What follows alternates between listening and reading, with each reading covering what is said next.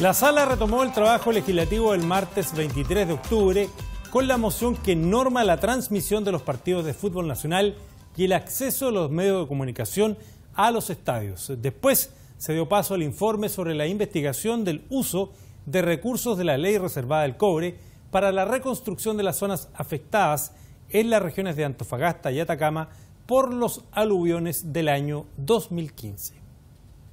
Corresponde continuar la discusión del proyecto de ley iniciado en moción que establece normas sobre transmisiones, sobre transmisiones de los partidos de fútbol nacional y acceso a los medios de comunicación y acceso de los medios de comunicación a los estadios.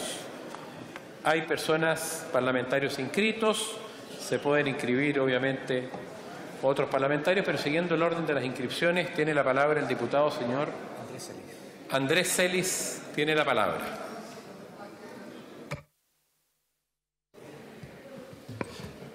Buenos días, señor presidente. Este proyecto sufrió muchas, muchas modificaciones e indicaciones que lo mejoraron desde sus inicios hasta llegar al proyecto que hoy día conocemos, pero que no por ello permite que pueda votar a favor de él, ya que el objetivo de esta moción puede ser logrado con otros medios o instrumentos. Lo que intenta hacer el proyecto que estamos discutiendo es conciliar el derecho exclusivo que tendría la ANFP y el derecho a la libertad de prensa y acceso a la información. Si bien no niega la exclusividad que legítimamente tiene la ANFP en tanto organizador de eventos, esta exclusividad debe ir de la mano con el derecho a la información. No hay duda que es una iniciativa loable, pero tampoco hay duda alguna de los errores o contradicciones que ésta tiene y que pese a haber cumplido con mi objetivo de la discusión anterior que permitió que fuese conocido por la Comisión de Deportes, aún se mantiene lo que no me lleva más que a rechazar el proyecto. Los errores y contradicciones que no permiten aprobar hoy esta moción son los siguientes. Primero, el proyecto parte de la base que la NFP tendría los derechos exclusivos de transmisión de los partidos. Sin embargo, acá hay una confusión que debe ser aclarada. La NFP organiza los partidos y correspondientes eventos deportivos, pero no tiene los derechos de transmisión a su haber ya que estos son cedidos. Por todos es sabido que actualmente se encuentra en revisión de la Fiscalía Nacional Económica el contrato mediante cual la Turner Internacional se adjudicaría los derechos de transmisión de CDF que son entregados a su vez por la ANFP. Por tanto, si de acuerdo al artículo 3 de este proyecto, la transmisión de los partidos deberá ser determinada de común acuerdo entre la ANFP y los concesionarios de, televisión de libre recepción, se vulnera expresamente el derecho constitucional previsto en el artículo 19, número 24, esto es el derecho de dominio, de propiedad, que legítimamente tendría Turner o bien a quien se determine la adjudicación de los derechos de CDF no solo se afectaría la propiedad que legítimamente detenta el sesionario de los derechos de transmisión, sino que además el proyecto es violentamente expropiatorio. Nuestra ley fundamental establece que nadie puede ser privado de su derecho de propiedad o de alguno de sus atributos, sino en virtud de una ley general o especial que autorice la expropiación por causa de utilidad pública o de interés nacional calificada por el legislador. Ninguno de estos requisitos para expropiar legítimamente se comprenden en el proyecto de ley en estudio. Por ello es que de aprobarse este proyecto necesariamente debe hacerse, y así lo haré, la correspondiente reserva de constitucionalidad por la clara afectación al derecho de dominio y tratarse de un proyecto expropiatorio sin reunir los requisitos para ello. Segundo, este proyecto también es inconstitucional e legítimamente preparatorio frente a la repartición de ganancias que obtienen los distintos clubes por los derechos de transmisión de sus partidos en el canal del fútbol, en la actualidad y por los correspondientes excedentes. La repartición de los derechos es de acuerdo a los siguientes porcentajes. Colo Colo, Universidad de Chile, Universidad Católica, 25%, el resto de los clubes de Primera División A, 49,4% y Primera B, el 25,6%. Por su parte, la distribución de excedentes del CDF asciende a Primera División A, repartiéndose en partes iguales el 70% de estos excedentes y Primera División B se reparten en partes iguales el 30% de estos excedentes. La repartición de los derechos y de los excedentes ha ayudado objetivamente al crecimiento de los clubes, sobre todo los más, más pequeños. Este proyecto establece que al menos un partido por equipo durante el campeonato será transmitido por televisión abierta, sin determinación de porcentaje de publicidad. Lo menciona, pero no determina monto porcentaje. Esto implicará una merma en la recepción de las ganancias por derechos y excedente de los clubes, ascendente a millones de pesos. Esta merma, de manera muy resumida, se resume de la siguiente manera. Los tres grandes clubes anualmente dejarán de percibir cada uno 222 millones de pesos. El resto de los clubes de primera A en total 1.317 millones de pesos, 101 millones por equipo y la primera B 682 millones anuales, es decir, 42 millones por equipo. Se hace presente que, es que, este cálculo se hizo considerando el año 2016, por lo que las cifras de pérdida serán mayores aún. Otro tema que no fue previsto en el proyecto es una cuestión práctica. Por favor, no se escucha bien al, honorable diputado señor Celi, le rogaría eh, mayor atención, por favor, y cuidado. Diputado Celis tiene la palabra, por favor. Gracias, presidente. Tercero, otro tema que no fue previsto en el proyecto es, una cuestión práctica. La libertad de prensa o bien de acceso a camarógrafos, fotógrafos, etcétera, sin limitación alguna, es algo que por la infraestructura de los estadios es absolutamente contraproducente porque la calidad de las imágenes y fotografías será nefasta. Imagínense las antiguas imágenes que tenemos de los arcos de fútbol absolutamente colapsadas de fotógrafos, camarógrafos, periodistas, etcétera, que no solamente constituían un peligro para ellos y para los deportistas, sino que la calidad de lo obtenido era pésima. Cuarto, finalmente, el proyecto hace hincapié en la forma en que se determinarán los partidos a transmitir, pero no cómo serán elegidos los canales. Así, no es claro si pueden dos canales transmitir el mismo partido, cómo se evita que siempre sea un mismo canal que lo transmita. Quinto, debo hacer presente que para lograr la libertad de prensa, de información de los canales de televisión abierta, a acceder a los partidos de fútbol es algo que no necesariamente se realizará con la eventual aprobación de este proyecto, sino que también mediante otros instrumentos, como el contrato de quien se adjudique los derechos de CDF. De hecho, el contrato en actual revisión por la Fiscalía Nacional Económica contempla la posibilidad de transmisión de partido por la televisión abierta. Por todas estas consideraciones no puedo sino solicitar que este proyecto sea rechazado. He dicho, muchas gracias. Muchas gracias, diputado Celis. A continuación tiene la palabra el diputado señor don Raúl Saldívar. Gracias, presidente. El proyecto que hoy discutimos tiene especial relevancia, puesto que aborda dos aspectos fundamentales de la sociedad contemporánea. Uno es el fútbol y otro la televisión abierta. Ambos son factores importantes en el imaginario colectivo de los chilenos, por lo que resulta importante regular el acceso a los contenidos de relevancia social, ya que como medios de comunicación, su principal función es informar. En este caso, se está legislando para que los medios de comunicación puedan ejercer el derecho a informar, a transmitir los partidos de fútbol nacional que hoy se encuentran restringidos por el lucro, digámoslo con claridad.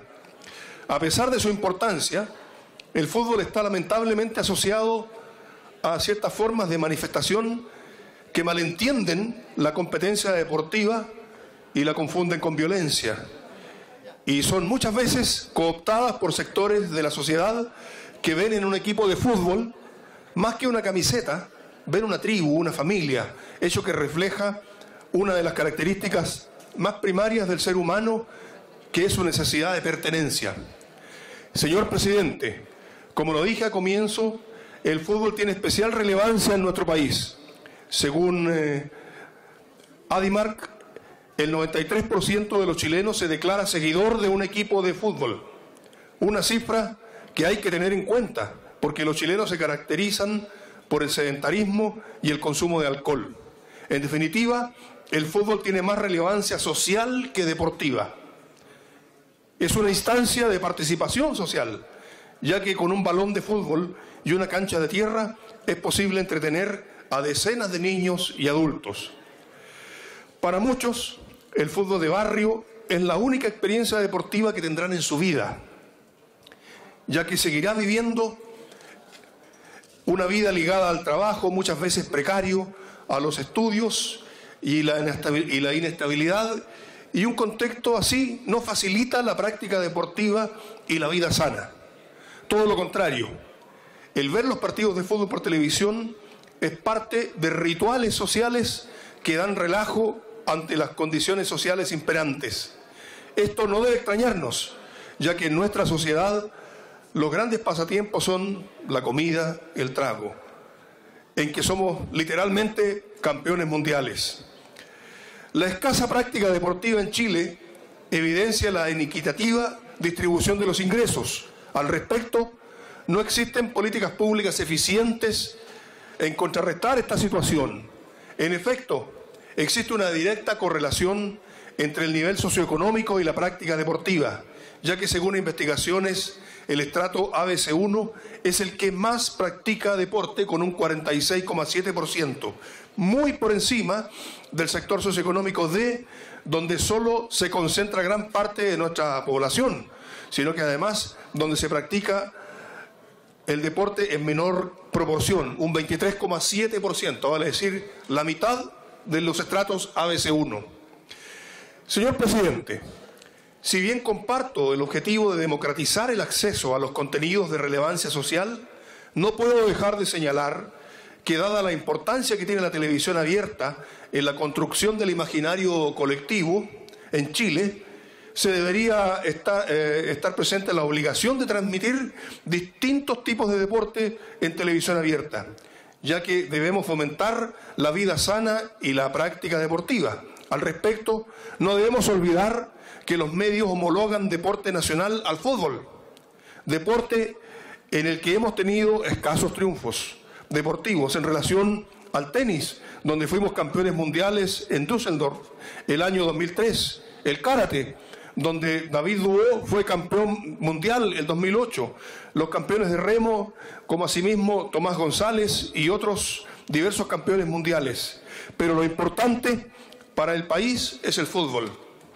Señor presidente, la importancia del fútbol mezclado con los intereses económicos de los canales de televisión dieron como resultado el triste recuerdo de que cuando las marcianitas estaban disputando la final mundial de hockey el año 2006, en nuestra televisión abierta se transmitía un partido amistoso entre Chile y Perú, partido de nula relevancia.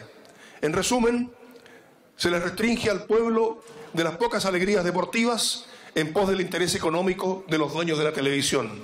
No olvidemos que, como dijo Pierre Bourdieu, la opinión pública no existe y son solo intereses de los que financian la televisión. Señor presidente, por lo anteriormente señalado, anuncio que votaré a favor de este proyecto de ley que da un pequeño paso a la democratización del acceso al deporte en Chile. He dicho. Muchas gracias, diputados y diputadas. Diputado Saldívar, eh, un grupo de parlamentarios me ha pedido hacer este saludo al cual adhiero. El día de ayer, 12 de octubre, Rafaela Santibáñez cumpliría 15 años. Este es el primer año en que su madre está en este hemiciclo como diputada, para honrarla siempre. Feliz cumpleaños al cielo a tu hija querida Marisela.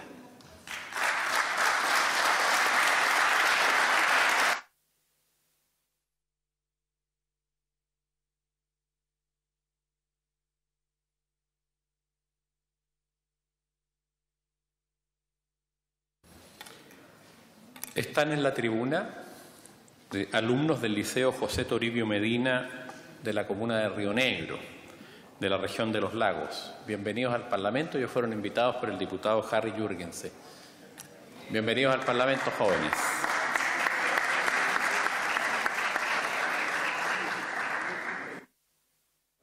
Siguiendo la discusión del proyecto de ley, corresponde la palabra al diputado señor Luciano Cruzcoque. El diputado señor Pablo Prieto.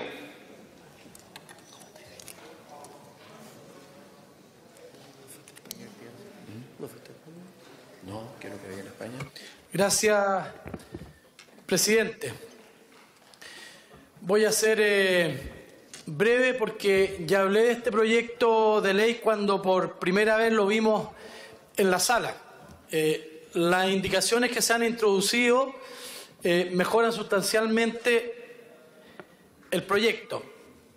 En particular, me quiero referir a la indicación presentada por eh, Marisela Santibáñez y quien habla, en el sentido de que se puedan transmitir también partidos de fútbol de equipos de primera B. El proyecto de ley como estaba constituía una discriminación injusta contra los equipos de la primera B, por cuanto solo se quería dejar la transmisión de partidos de fútbol de los equipos que juegan en la primera A. Y no hay que olvidar, presidente, que el fútbol es una pasión de, de todo. Y si este proyecto de ley eh, quiere que más personas accedan al espectáculo del fútbol a través de la televisión, es lógico que se transmitan también algunos de los partidos de la primera vez. Equipos con una gloriosa historia, con grandes y fieles hinchadas como Cobreloa, el caso de, de Wander, Coquimbo Unido, que el fin de semana recién pasado es el puntero de la primera vez, daba gusto ver el estadio completamente repleto, donde le ganó a San Marcos de Arica por 4, a 0. Eh, ellos están hoy día en la primera vez y no puedo dejar de mencionar a mi querido Ranger de Talca, el equipo de mis amores, que hoy también disputa la primera vez y siempre ha sido protagonista. Y por último, menciono a Deportes Valdivia, que ha hecho un tremendo esfuerzo, un trabajo deportivo y social en la ciudad que lleva su nombre, y también está en la primera vez. O sea, un equipo que le costó mucho eh, llegar al profesionalismo, donde las exigencias de la ANFP fueron tremendas, en la cual se defendieron a muerte para tratar de estar en la primera vez y no entrar en desventaja eh, frente al resto de los el resto de, los otros equipos con gran campaña de Deportes Valdivia, por lo tanto, sin lugar a duda de que la primera vez concita una tremenda atención para los hinchas, especialmente de sus equipos y cuando están peleando por la categoría de llegar a la primera vez sin que se me vaya a molestar, eh, presidente, la diputada Marisela Santibáñez, que me adhiero a lo que ella hoy día está eh, recordando, pero quién sabe si otros equipos pueden bajar algún día a la primera vez.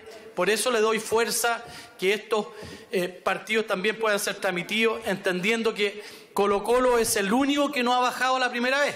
Imagínense lo que significaría que Colo Colo estuviera en la primera vez Colo Colo es Chile, aunque a muchos no les guste, pero Colo Colo es Chile. Si estuviera en la primera vez, a todos nos gustaría ver el, el encuentro de Colo Colo. Yo sé que a algunos no les gusta el fútbol, pero nosotros tenemos que entender y legislar eh, para la gente, especialmente la gente que no tiene la posibilidad de contratar un decodificador, estar en el CDF eh, y hacer un gasto que a, la larga no le permite eh, ver el equipo de sus amores. En fin, en lo personal llamo eh, aprobar las, indicaciones formuladas eh, a este proyecto, en particular la indicación de que he estado tratando de explicar en este discurso que fue presentada, ya lo dije, por la diputada Marisela Santibáñez y quien, y quien habla y que amplía los efectos de este proyecto de ley para los partidos, como lo dije recién, de la primera vez del fútbol profesional. He dicho, presidente. Gracias. Muchas gracias, diputado. Eh, a continuación tiene la palabra el diputado señor Andrés Molina. Señor presidente, por eh, su intermedio quiero manifestar que el proyecto de ley que busca establecer nuevas normas sobre transmisión de partidos de fútbol nacional y cuya autoría corresponde a las diputadas Camila Vallejo, Carol Cariola y los diputados Lautaro Carmona, Daniel Núñez, Hugo Gutiérrez, descansa en fundamentos totalmente erróneos y acusa un grave desconocimiento de nuestro sistema jurídico en cuanto a derechos fundamentales se refiere. En efecto, los autores del proyecto han sostenido que la actual legislación que regula los derechos de transmisión de partidos de fútbol afecta una serie de garantías fundamentales como la igualdad, el derecho a la información, el derecho de imagen y la libertad de expresión. Según señalan, ellos serían vulnerados por la privatización y el lucro que ejercen actualmente las sociedades anónimas y el canal del fútbol, al transmitir de forma exclusiva los contenidos de este deporte.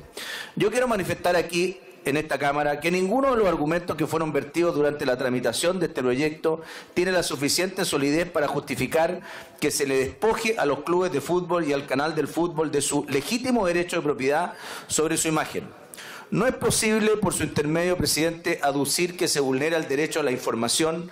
Quiero recordar que este derecho, según múltiples fallos del Tribunal Constitucional, se relaciona fundamentalmente con información de carácter público y dice relación con los actos que emanan de la Administración Pública y de los demás órganos del Estado.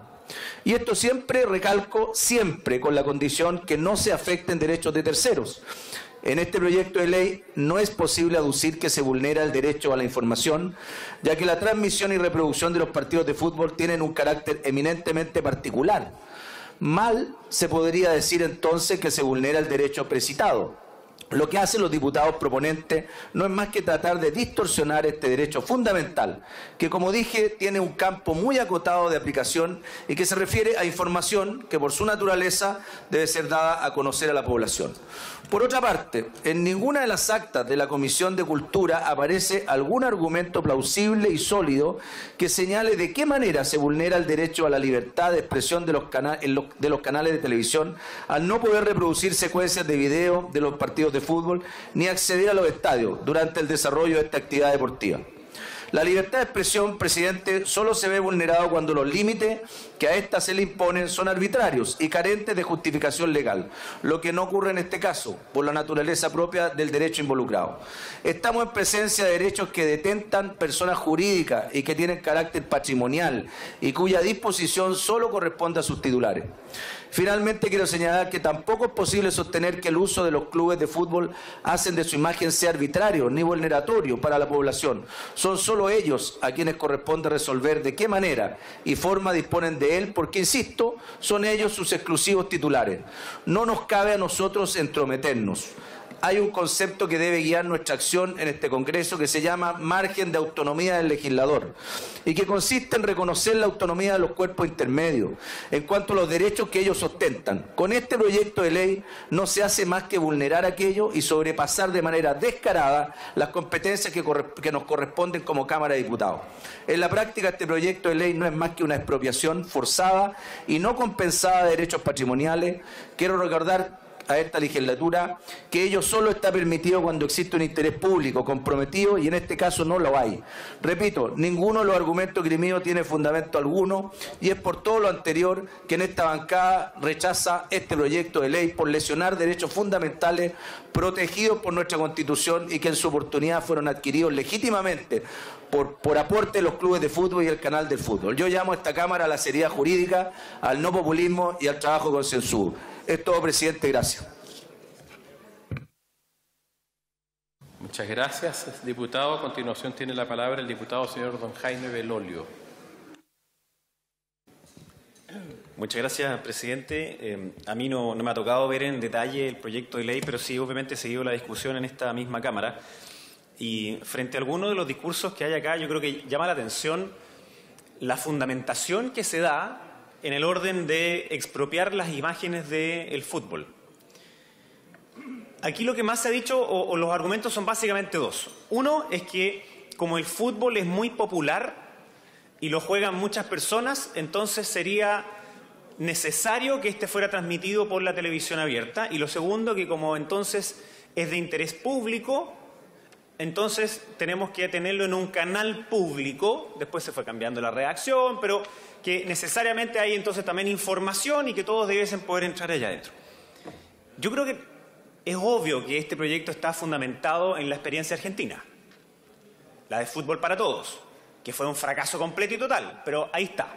Está fundamentada en eso porque obviamente es súper popular y que hayan arreglos institucionales en otros países que hagan que algunos derby u otros sean transmitidos a través de la televisión, no significa que todo que sea de interés público obligatoriamente tenga que ser expropiado. Y si la lógica es hacerlo, bueno, digámoslo como tal, que por tales y tales motivos, ahora es al menos raro que la transmisión de eventos deportivos privados se pongan acá en cierta categoría tal que entonces deban ser expropiados para que se cautele su, no sé, calidad. E, es algo extraño porque además, como nunca antes en la historia, hoy día se transmiten los partidos de televisión. Nunca antes habíamos tenido tantos partidos de televisión transmitidos como los tenemos hoy día. Nunca. Además, este es un proyecto, y permíteme decirlo así, completamente añejo. Hoy día es cada vez menos las personas que ven televisión y televisión abierta. Por de pronto, suponer que no hay acceso a la información y que no se pueden ver los goles, significa que ninguno de ustedes tiene Twitter, ninguno de ustedes tiene Instagram, ninguno de ustedes tiene Facebook. Los goles aparecen al segundo siguiente que ya estaban y los ponen hasta en los portales de los medios más importantes, donde salen todos ahí. Nadie está diciendo que los goles no se puedan mostrar. Por de pronto, los canales pueden comprarlos. Y algunos legítimamente dicen que no, que quieren esperar al día siguiente a las 6 de la mañana cuando ya se pueden transmitir. Entonces, la lógica del proyecto de ley no, nos obliga a pensar que no es solamente el interés que todos tenemos por el fútbol. Alguien decía, ¿qué pasaría si es que Colo Colo bajara a segunda división? No a bajar a primera vez. Pero no es porque el equipo que a uno le gusta o no le gusta sea bueno o malo el que justifique que expropiemos los derechos de televisación de eventos deportivos por el supuesto interés público. En pocos días más, en noviembre, va a venir Roger Waters. A mí me parece que es extraordinariamente de interés público que todos puedan verlo. ¿Eso significa entonces que vamos a expropiar los derechos de allí mismo y poner una cámara para que sea obligatorio que sea en, en la televisión abierta? ¿Sería extraordinario? Hagamos entonces proyecto de ley. Po. ¿Y por qué tiene que ser sobre el fútbol? ¿Por qué no es sobre el básquetbol? ¿Por qué no es sobre el voleibol? ¿Por qué ahora que Joaquín Niman juega en las grandes ligas no es sobre el golf? ¿O no es sobre cualquiera de las otras disciplinas deportivas que empiezan a ser de interés público? Da cuenta evidentemente que aquí se esconde otra lógica. La lógica que pretende es porque esto es muy popular, entonces tenemos que hacer la única solución sería traerlo al Estado a través de una expropiación para obligar entonces a que sea transmitido de forma abierta en un canal. Pero además, si esa fuera la única fórmula por la cual se garantiza que esto esté informado, ya está resuelta. En la licitación que se acaba de hacer, ya está. El que al menos uno tiene que ser transmitido en la televisión abierta. O sea, se puede acceder a través de los canales del cable, se puede acceder a través de Internet, se puede a través, a través de SDF Estadio, etc. Y así también de otras aplicaciones. Entonces, suponer que la única lógica de información es ir a la televisión es una propuesta completamente ochentera. Completamente ochentera. Que hoy día ya simplemente no cuadra. Por algo es que los canales de televisión están en la crisis que están. Los avisadores van a otros lados, no van a la lógica de la televisión abierta ochentera. Entonces, este es un proyecto de ley que se supone que mejora todas las cualidades, pero no nos dice la verdad en otros aspectos. ¿Cuáles van a ser los... Imagínate que se aprobara esto. ¿Cuáles van a ser aquellos partidos que se van a transmitir? ¿Van a ser los de los equipos de regiones? ¿Los equipos que más dependen de los ingresos del canal del fútbol? Obvio que no. Por supuesto que no. claro, yo voy a poder seguir viendo Colo Colo aunque voy al estadio, pero ¿y qué va a pasar con los otros equipos? Hoy día es donde más equipos han visto transmitidos sus partidos, tanto de la primera B como de la primera A. Y entonces por el supuesto orden moral de que algo es de interés público y que es masivo, entonces se justifica la expropiación de esos derechos de televisación, me parece que simplemente no da. No da nomás. Entonces, es verdad, la NFP necesita mejora, obvio que sí, transparencia y, eh, y, tiene la selección chilena y la selección chilena se dice que es de interés público distinto que la organización de la, de la división que se hace todos los años. Porque querámoslo o no, la NFP es hoy día una organización privada que organiza un campeonato de fútbol y ese campeonato de fútbol tiene un carácter de privado, que tiene reglas y esas reglas, que por supuesto a todos nos interesan porque es de alta visibilidad, no significa entonces que tengamos que expropiarla.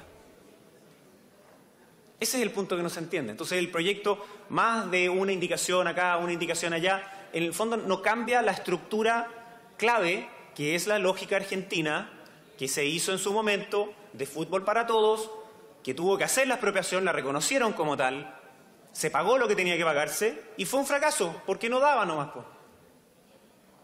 Entonces, el, tenerle como ese pánico a que cuando alguien dice privado significa que necesariamente es malo, que necesariamente es asqueroso y entonces que hay que olvidarlo y ojalá meterlo bajo la tierra, no cuadra nomás. No es la realidad nomás. Entonces sí, me gusta el fútbol, me encanta, voy al estadio, cuando no puedo ir lo veo a través de la televisión y si no puedo verlo a través de la televisión me informo a través de los medios de información que lo hacen al segundo siguiente. Entonces, no porque algo sea de interés público significa que obligatoriamente la única solución para lo que ustedes suponen que quieren resguardar es la expropiación de los derechos televisivos. Esa discusión es de fondo, pero lamentablemente aquí como que pareciera que no se puede dar. Porque si alguien no está a favor de expropiar los derechos televisivos, entonces está en contra del fútbol. No, pues. Precisamente porque estoy a favor del fútbol y especialmente de los clubes que hoy día son los más pequeños, es que creo que este proyecto los perjudica. Perjudica a los clubes de la primera vez. Perjudica a los clubes de regiones más pequeños. No va a pasar nada con la Católica, con, Colo Colo, con la U. No, no va a pasar absolutamente nada. Una parte baja de los ingresos de esos equipos depende del canal del fútbol. En cambio de los otros es la mayor parte. Y esto lo que hace es quitarle ese valor. Es sencillo, o sea, yo, sé que es incómodo decirlo, sé que es impopular, pero, pero así, así sucede. Entonces no estoy diciendo con esto que eh, es completamente ilegítimo y todos los que están a favor de esto son unos demagogos, no, eso no es parte de mi expresión. Yo digo que para lo que ustedes quieren cautelar, esta no es una buena herramienta, es una herramienta que perjudica a los clubes, particularmente de regiones y particularmente de primera vez. Y eso me parece como una muy mala noticia. Si soy partidario de otras cosas que deberíamos hacer con la NFP, como por ejemplo como ocurre en otras partes del mundo, en Estados Unidos, en que los tipos entregan, le entregan más lucas al equipo que está más mal, para que sea más competitivo. A mí eso me parece completamente razonable. Es exactamente lo mismo que hace en la NFL, es exactamente lo mismo que hace también en, parte en la MLB, pero con otras reglas, y también en la NBA. Y eso no lo tenemos nosotros acá como cultura. Y eso sí podría cambiar. Pero eso es algo que hay que conversar con la NFP. No es una ley que obligue a esto. Entonces, diputado, yo con, el mayor aprecio por muchos de los que eh, hicieron el proyecto y que han participado en él, creo que está, que está muy bien la intención, que está muy bien el discurso, pero en concreto la solución lo que único que hace es perjudicar profundamente al fútbol y profundamente a quienes amamos al fútbol. Así que yo por eso voy a votar en contra. Gracias.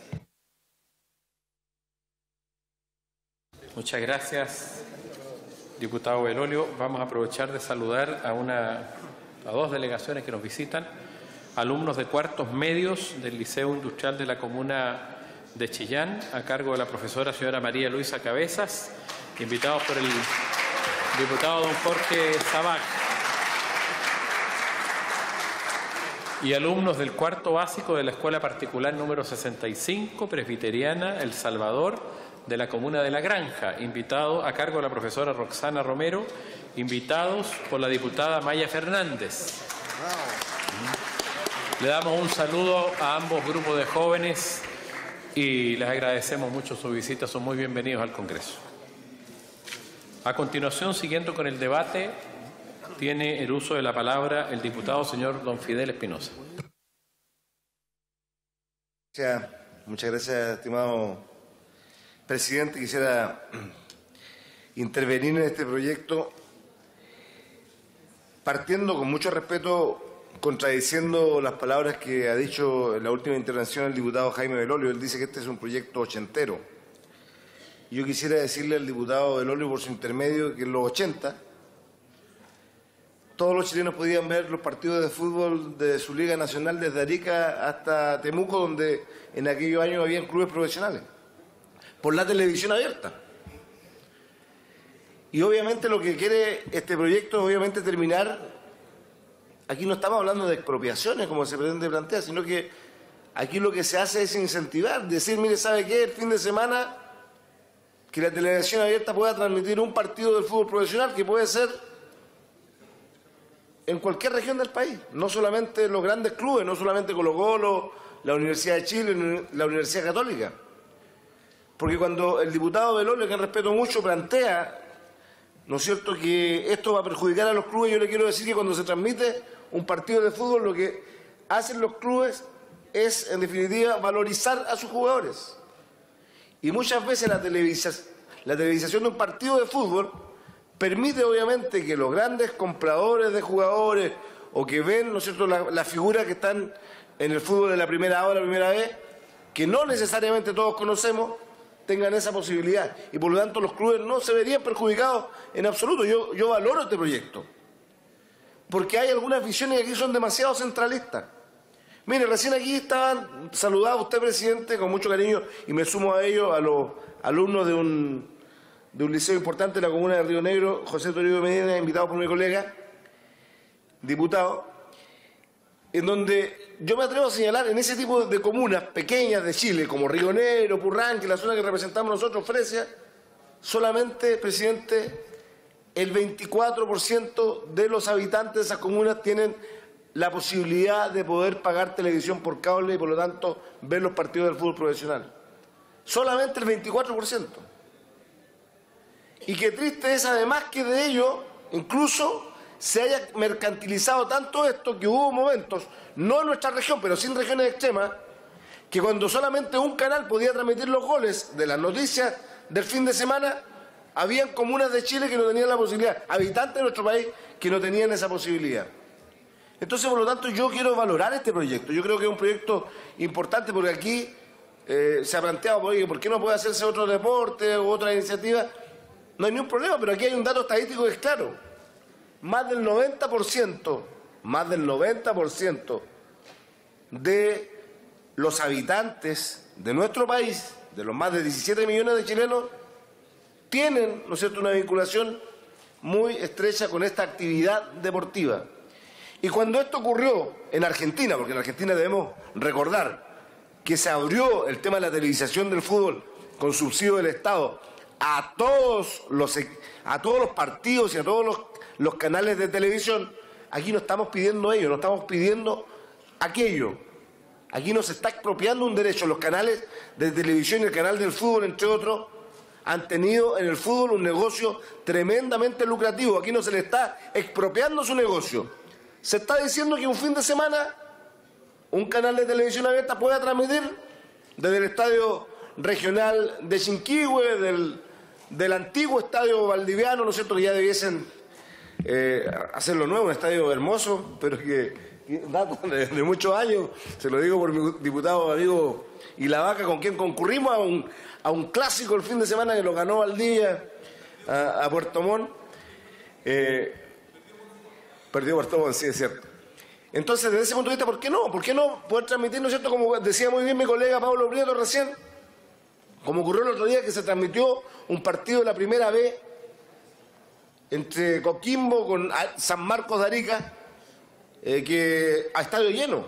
O como ocurría también con Deportes Temuco, que el año pasado fue en el Germán Becker una de las mejores plazas, ¿no es cierto?, del, campeonato de primera que lo, llevó al ascenso eh, al fútbol a la primera a la primera Entonces, desde ese punto de vista, no tratemos de confundir conceptos, de tratar de hablar de expropiación de derechos. Aquí se está diciendo que todos los chilenos pudiesen tener el acceso libre, porque aquí no se trata de monopolizar, que todos los fines de semana solo se pueda ver a la Católica, a la Chile o al Colo, que son los equipos más populares, sino que también esto permita descentralizar una actividad deportiva que hoy día se desarrolla en gran parte, ¿no es cierto?, de las regiones de Arica hasta eh, la décima región de los lagos, donde hay hoy día fútbol profesional. Entonces, presidente, yo no solamente valoro la iniciativa, creo que es importante, este, el proyecto es asegurar, ¿no es cierto?, la transmisión de partidos oficiales del Torneo Nacional de Fútbol de Primera por la televisión de libre recepción, garantizando el acceso a los medios de comunicación a los estadios para acceder a las fuentes de información. El colega eh, Belolio hablaba de las redes sociales, sí es cierto, si las redes son instantáneas, pero colega Belolio, en Chile todavía tenemos y en nuestras regiones a mucha gente que vive en sectores rurales que todavía no tiene acceso a la información inmediata. Vamos avanzando como país, no hay ninguna duda. Vamos avanzando más rápidamente que otros países de Latinoamérica, ninguna duda. Pero no todo es Twitter, no todo es Twitter. Yo no me veo a, los campesinos del distrito que con, tanta, con tanto orgullo represento, que usen Twitter, no lo usan. A lo mejor hay alguien que tiene Facebook, ¿no es cierto?, u, otra, u otras redes sociales, pero el Twitter no se, no se usa. O sea, el Twitter tiene una utilización que está bastante restringida. Entonces, desde ese punto de vista, presidente, para terminar mis palabras, yo quiero señalar de que este es un proyecto que no lo veamos con malos ojos ni, tratemos de ver cosas que el proyecto en definitiva no tiene, sino que veamos la cosa positiva. El fútbol es el deporte más eh, masivo del país. Eh, hoy día sería importante que tuviésemos la posibilidad de que cada fin de semana la televisión abierta de libre recepción de todos los chilenos pueda transmitir algún evento deportivo. Y estoy seguro que eso va a fortalecer el mismo deporte, va a incentivar a muchos jóvenes que hoy día están en las divisiones inferiores teniendo grandes, grandes resultados. A aquellos jóvenes que en definitiva, mire, hoy día todos los que estamos aquí somos de regiones, hoy día las selecciones sub-17 están desarrollando en todo Chile un campeonato fabuloso para el nacional. Aprovecho estos minutos para enviarle un saludo muy grande y felicitar a la gente de la sub-17 de, de Frutillar, que venció a Ancud el fin de semana, y de Los Muermos, que venció a Castro, pero cuatro selecciones en donde hay muchos deportistas jóvenes que su sueño, aparte de que hoy día tienen la posibilidad de estudiar, es llegar a ser jugadores profesionales. Qué más lindo que jugadores de la cantera de nuestros clubes, ¿no es cierto?, tengan la posibilidad de llegar al fútbol profesional. ¿Qué más bonito que aquello? Y recuerdo, ¿no es cierto?, lo que me decía el director del INE, el ex director del INE de mi región, Luciano Belmar, hace, poco, hace pocos días atrás, cuando conversábamos la situación de un joven deportista, ¿no es cierto?, de Deportes Puerto que hoy día eh, está lamentablemente lesionado, que es de Nueva Braunau, y que era pelotero de aquellos jóvenes que se colocan detrás de, los- de las porterías de los estadios para agilizar el juego, que decía que su sueño alguna vez era meter un gol en el Estadio Regional de Sinquihue y ya ha hecho tres en este campeonato, siendo un jovencito de la cantera de 17 años. ¿Por qué digo esto? Porque en definitiva la televisación, la televisación de partidos también va a inyectar y va a incentivar a muchos más jóvenes de Chile a hacer deporte, a alejarlo de las drogas, a alejarlo de los vicios que todavía, ¿no es cierto?, en este país tenemos y con fuerza en muchas de nuestras comunas. Por lo tanto, repito, este es un proyecto positivo para el país. No es un proyecto populista, es un proyecto que eh, eh, se enmarca justamente en el derecho consagrado que la Constitución cuando establece, cuando dice debemos ser todos iguales. ¿Por qué no tener acceso al fútbol, que es un deporte tan masivo? A los goles. ¿Por qué tenemos que pa- pasárselo solo a un canal los fines de semana? Esa es otra materia, pero igual, ¿no es cierto?, ha sido restrictivo. Presidente, eh, este es un proyecto que yo valoro tremendamente y, por cierto, yo estoy seguro que gran parte de mi bancada lo va a votar favorablemente. He dicho, presidente. Muchas gracias, diputado Espinosa. A continuación tiene la palabra el diputado señor don Iván Flores.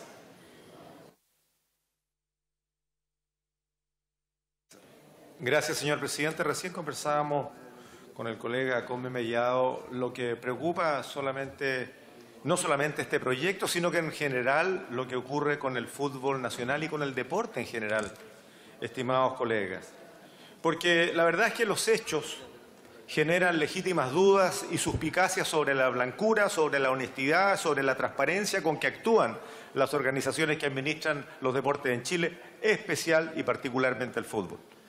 Porque pareciera que en el caso de la primera división y las directivas de los clubes que están en primera división, cuya organización, digámoslo con claridad, es la propietaria del canal del fútbol. El canal del fútbol, el canal más exitoso en materias económicas, tal vez por esta condición de exclusividad, esta condición de ser un organismo cerrado, es una, es una organización que en definitiva tiene la exclusividad para transmitir lo que es el amor de multitudes, lo que es el deporte popular, lo que significa para la gente más humilde eh, poder, o los que no pueden ir al estadio, encender la televisión para poder ver al club de sus amores en alguna oportunidad y tienen que hacerlo a través de un canal que en definitiva es el que tiene los más altos ingresos en este país.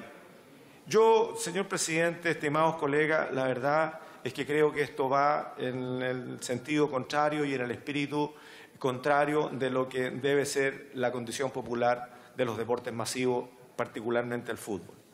Y, lo voy a decir con mucha responsabilidad. En el fútbol hace rato que vienen ocurriendo cosas raras en Chile. Eh, y no solamente cosas raras, porque pueden haber cosas raras como una escultura de Joan Miró que es rara pero es bonita. Aquí ocurren cosas raras y además son feas. Y, y, lo que pude investigar particularmente respecto de la situación de lo que le pasó al Torreón, Club de Deportes Valdivia, de mi región, Los Ríos, a raíz de que después de años, de años de esfuerzos, de perseguir sueños, de desilusionarse, porque eh, en todo esto necesitan muchas lucas, finalmente se vuelven a parar, vuelven con mucho esfuerzo a ser un equipo y logran llegar a la primera división B. Y resulta que en vez de felicitarlo, la Asociación Nacional de Fútbol Profesional, en vez de estimularlo, le caen con un ladrillo gigantesco en la cabeza de 1.300 millones de pesos solamente para poder participar. O sea, en el fondo, en vez de premiar el esfuerzo y el sacrificio de muchos, y no solamente hablo de los jugadores en la cancha, sino que especialmente hablo de los hinchas, le hacen este cobro que a mi gusto en su momento lo declaramos ilegal. Pero, ¿qué le dijo la NFB en ese tiempo al Torreón? Le dijo, miren, no se preocupen, porque como tenemos altos ingresos en el canal del fútbol, finalmente ustedes factoricen esos ingresos a futuro. Aquí hay algunas personas que conocemos que les van a permitir factorizar esos ingresos y no se preocupen porque con los cuarenta y tantos millones mensuales que les caen por el hecho de estar participando en la primera vez, pagan la factorización de los ingresos y aquí somos todos amigos. O sea, bueno, ¿qué es esto? ¿Es deporte o es un negocio bien calculado para esta cofradía de presidentes de clubes de la primera división A y por añadidura de los DB. Creo, señor presidente, estimados colegas, que no hay nada más alejado que el espíritu deportivo que la forma en que se organiza la administración de nuestro deporte principal en Chile. Finalmente, a los clubes que tienen hinchas detrás y que tienen sueño, no les ha quedado otra que pagar. Y por eso fuimos a la Fiscalía Nacional Económica. Y por eso estuvimos en el Ministerio de Justicia, eh, en la División de Personerías Jurídicas, para ver si la NFP había actuado o no había actuado de acuerdo a la norma y a sus propios estatutos. Y pasaron varias semanas de estar juntando papeles para tratar de justificar esta decisión de un cobro ilegal que en definitiva se fue enfriando y como tantas otras cosas en este país, finalmente, por muerte natural y por edad, las cosas se olvidan.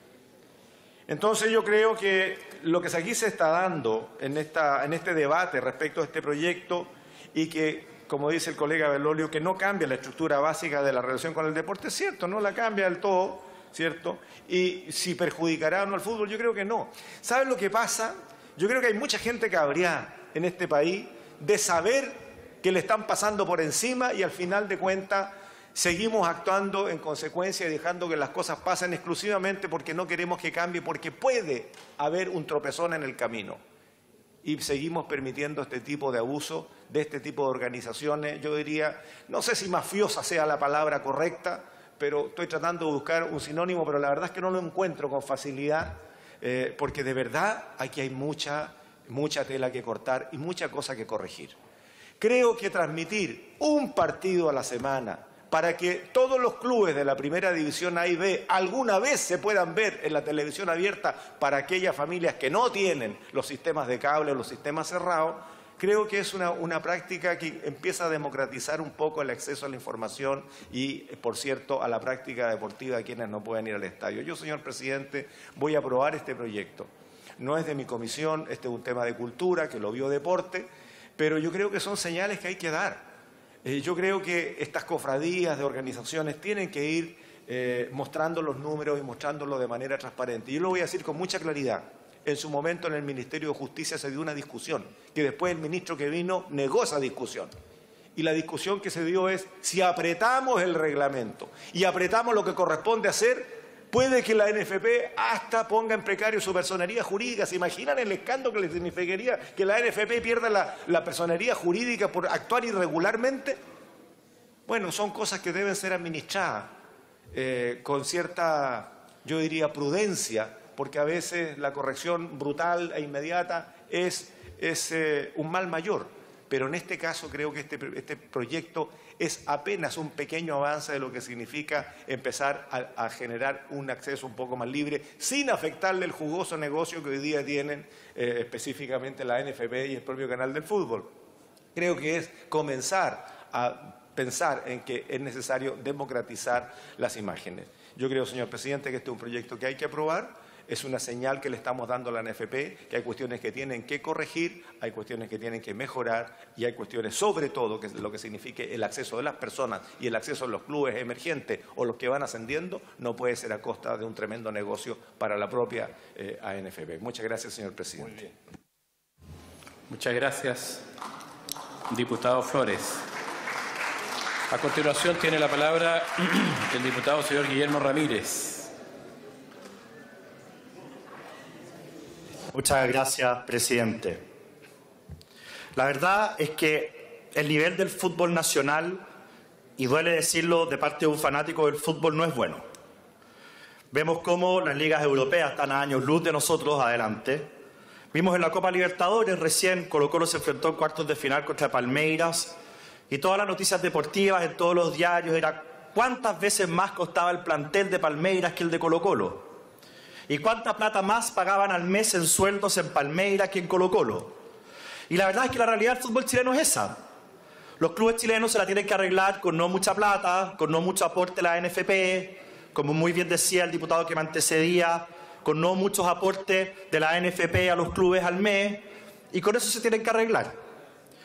Y así como ocurrió una especie de milagro a nivel de selección en que tuvimos una generación dorada que nos permitió ganar dos Copas América seguidas, cosa que nunca habíamos logrado, todos los que nos gusta el fútbol estábamos hasta cierto punto esperando un milagro para que el campeonato nacional chileno mejorara y los clubes mejoraran y fuéramos competitivos a nivel internacional.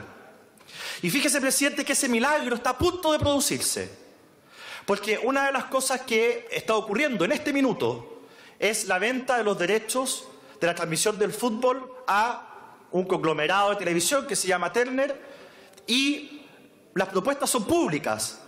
Fíjese, presidente, que la NFP va a recibir 1.900 millones de dólares. Es una locura.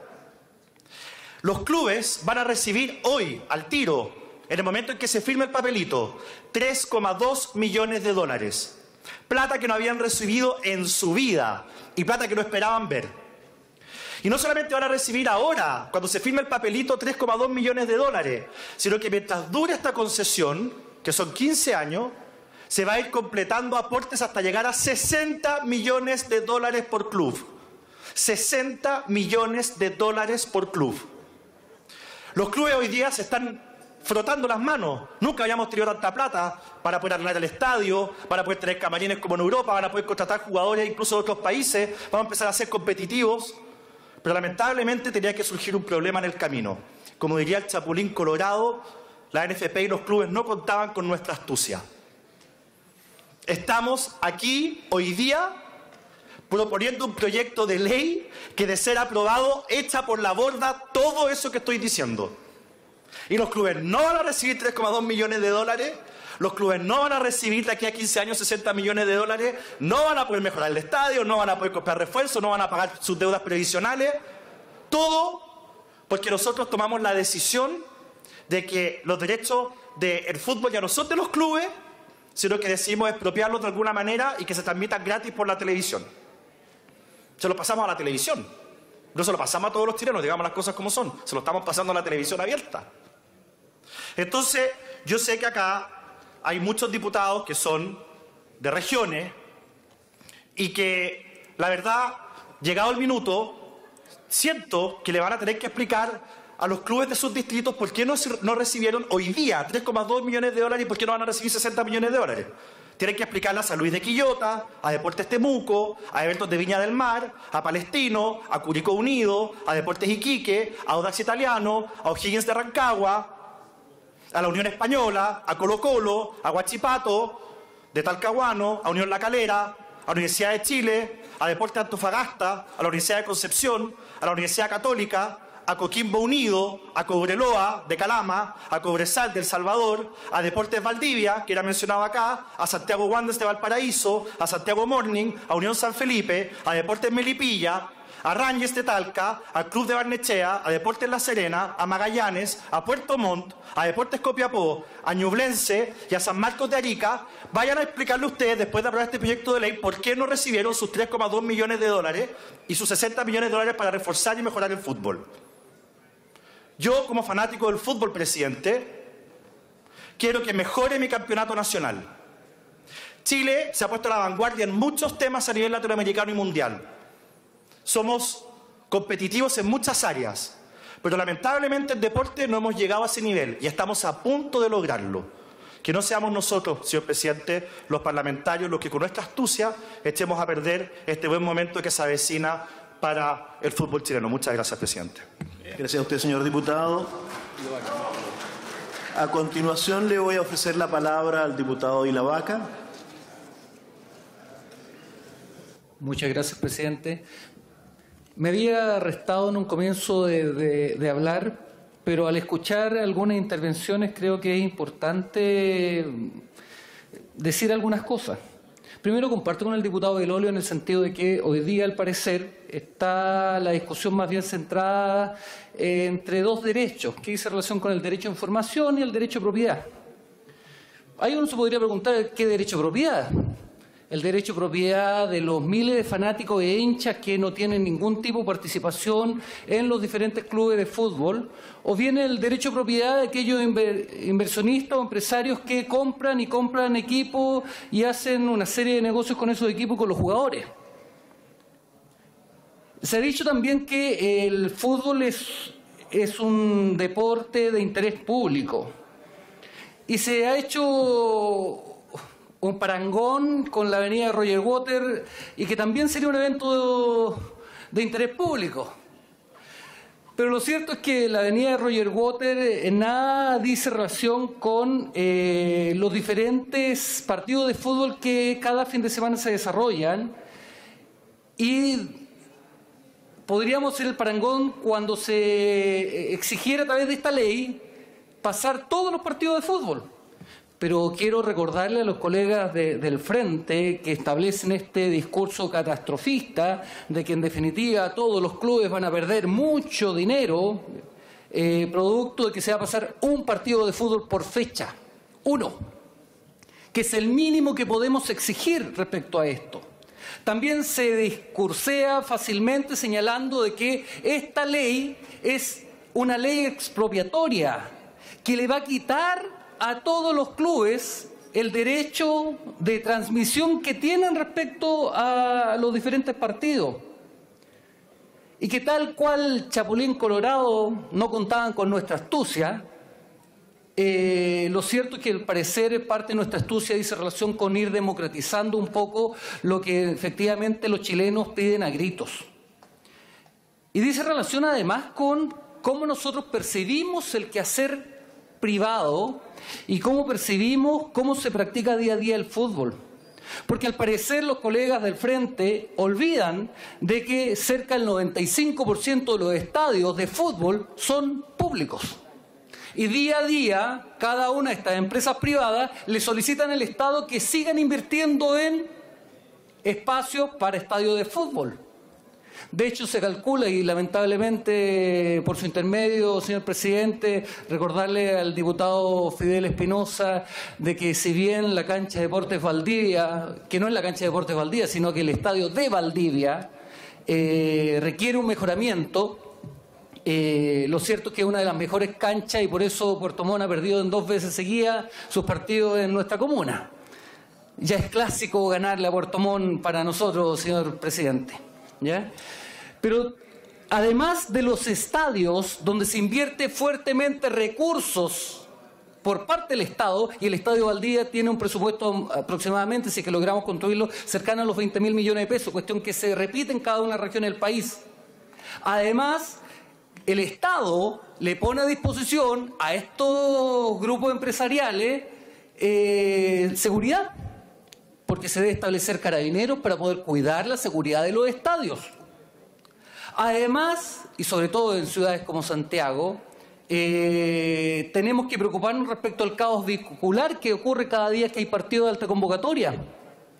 Entonces, es una actividad eminentemente privada, porque si fuera una actividad eminentemente privada, le solicitaría a los señores del CDF que eh, solamente el año 2016 tuvieron utilidades cercanas a las 46.620 millones de pesos, solamente en eh, eh, el 2016. Le diríamos, ¿sabe qué, señores CDF, señores NFP?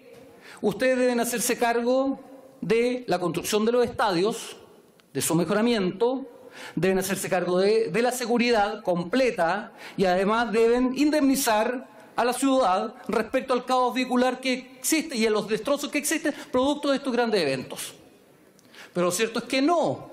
Aquí también el, diputado Ramírez, por su intermedio presidente, ha señalado que aquí se le va a restar a los clubes deportivos, no a los empresarios dueños, a los clubes deportivos la posibilidad de invertir en camarines.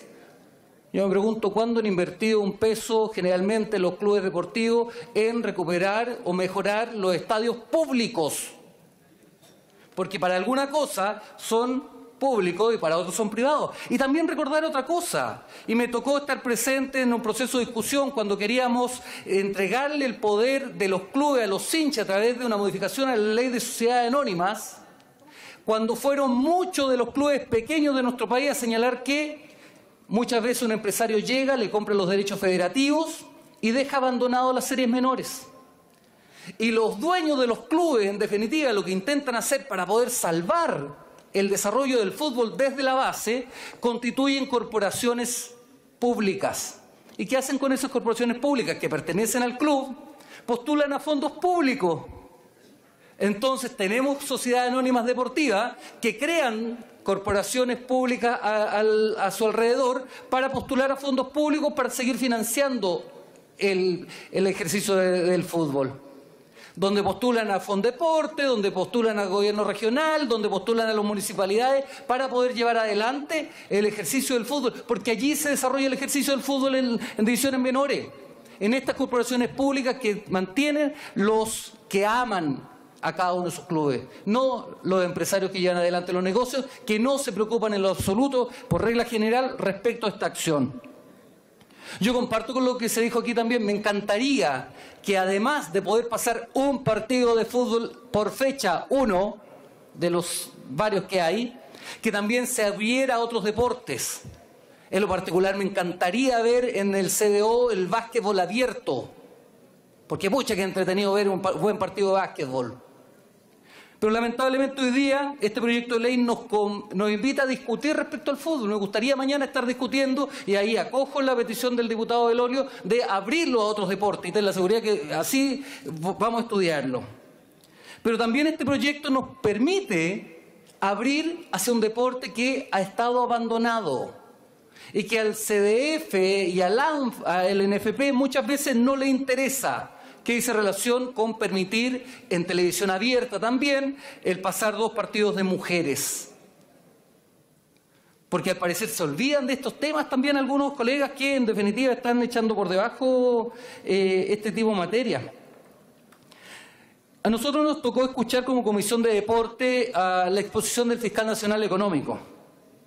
Y hoy día existe un grave temor por parte de la adquisición del Grupo Turner respecto al CDF, que inversión que es millonaria por lo demás. Y dice relación con la figura monopólica que va a asumir eh, hoy día el Grupo Turner, dueño de Chilevisión y dueño de DirecTV y en definitiva esperamos todavía ir conociendo las medidas de mitigación que va a establecer eh, la Fiscalía y que ha presentado el Grupo Turner la semana pasada. Porque en definitiva el negocio del fútbol hoy día se lucra gracias a la inversión pública. Porque hoy día el negocio del fútbol se lucra gracias a la comunidad en general.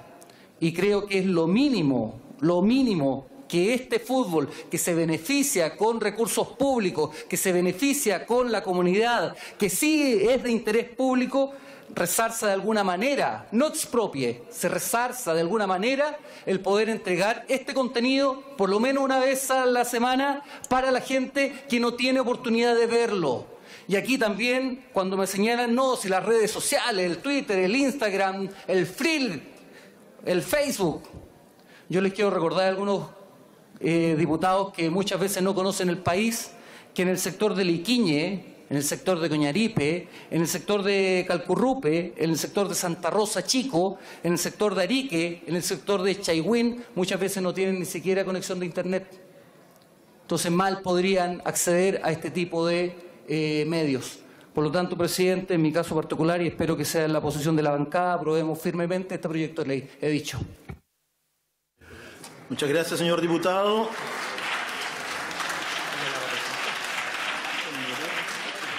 Antes de continuar con el debate, quiero saludar, espero que estén acá, quiero saludar a la delegación del Colegio Los Andes de la comuna de Puente Alto, a cargo de la profesora Sunilma Milos Aranguis, que están en las tribunas, invitadas por el presidente del Senado, don Carlos Montes Cisternas. Bienvenido y muchas gracias por venir a acompañarnos esta mañana. Muchas gracias. En este proyecto de ley que estamos viendo, que es una moción que establece normas sobre transmisión de los partidos de fútbol nacional y acceso de los medios de comunicación a los estadios, le voy a ofrecer la palabra a continuación a nuestro primer vicepresidente, a don Jaime Mulet. Diputado, puede usted hacer uso de la palabra. Muchas gracias, presidente. presidente, creo que hemos vuelto a una discusión que me da la impresión que se dio también durante el periodo legislativo pasado, de alguna manera se, vuelve que tiene que ver con lo que pasa en el fútbol profesional y en el fútbol amateur. De alguna manera, eh, creo yo, y lo hemos estado investigando en una comisión especial investigadora, eh, esto tiene razón o tiene una motivación en la manera como se maneja hoy día el fútbol profesional a través de una organización que es la Asociación Nacional del Fútbol Profesional y que tiene una estructura jurídica de corporación de derecho privado con muy poca fiscalización, eh, prácticamente ninguna fiscalización, algunas atribuciones que tiene el Ministerio de Justicia que son bastante limitadas, algunas atribuciones que tiene la Comisión del Mercado de Valores para los clubes más que para la propia NFP, algunas atribuciones que tiene más bien la Dirección del Trabajo, el Servicio de Impuestos Internos respecto de los clubes.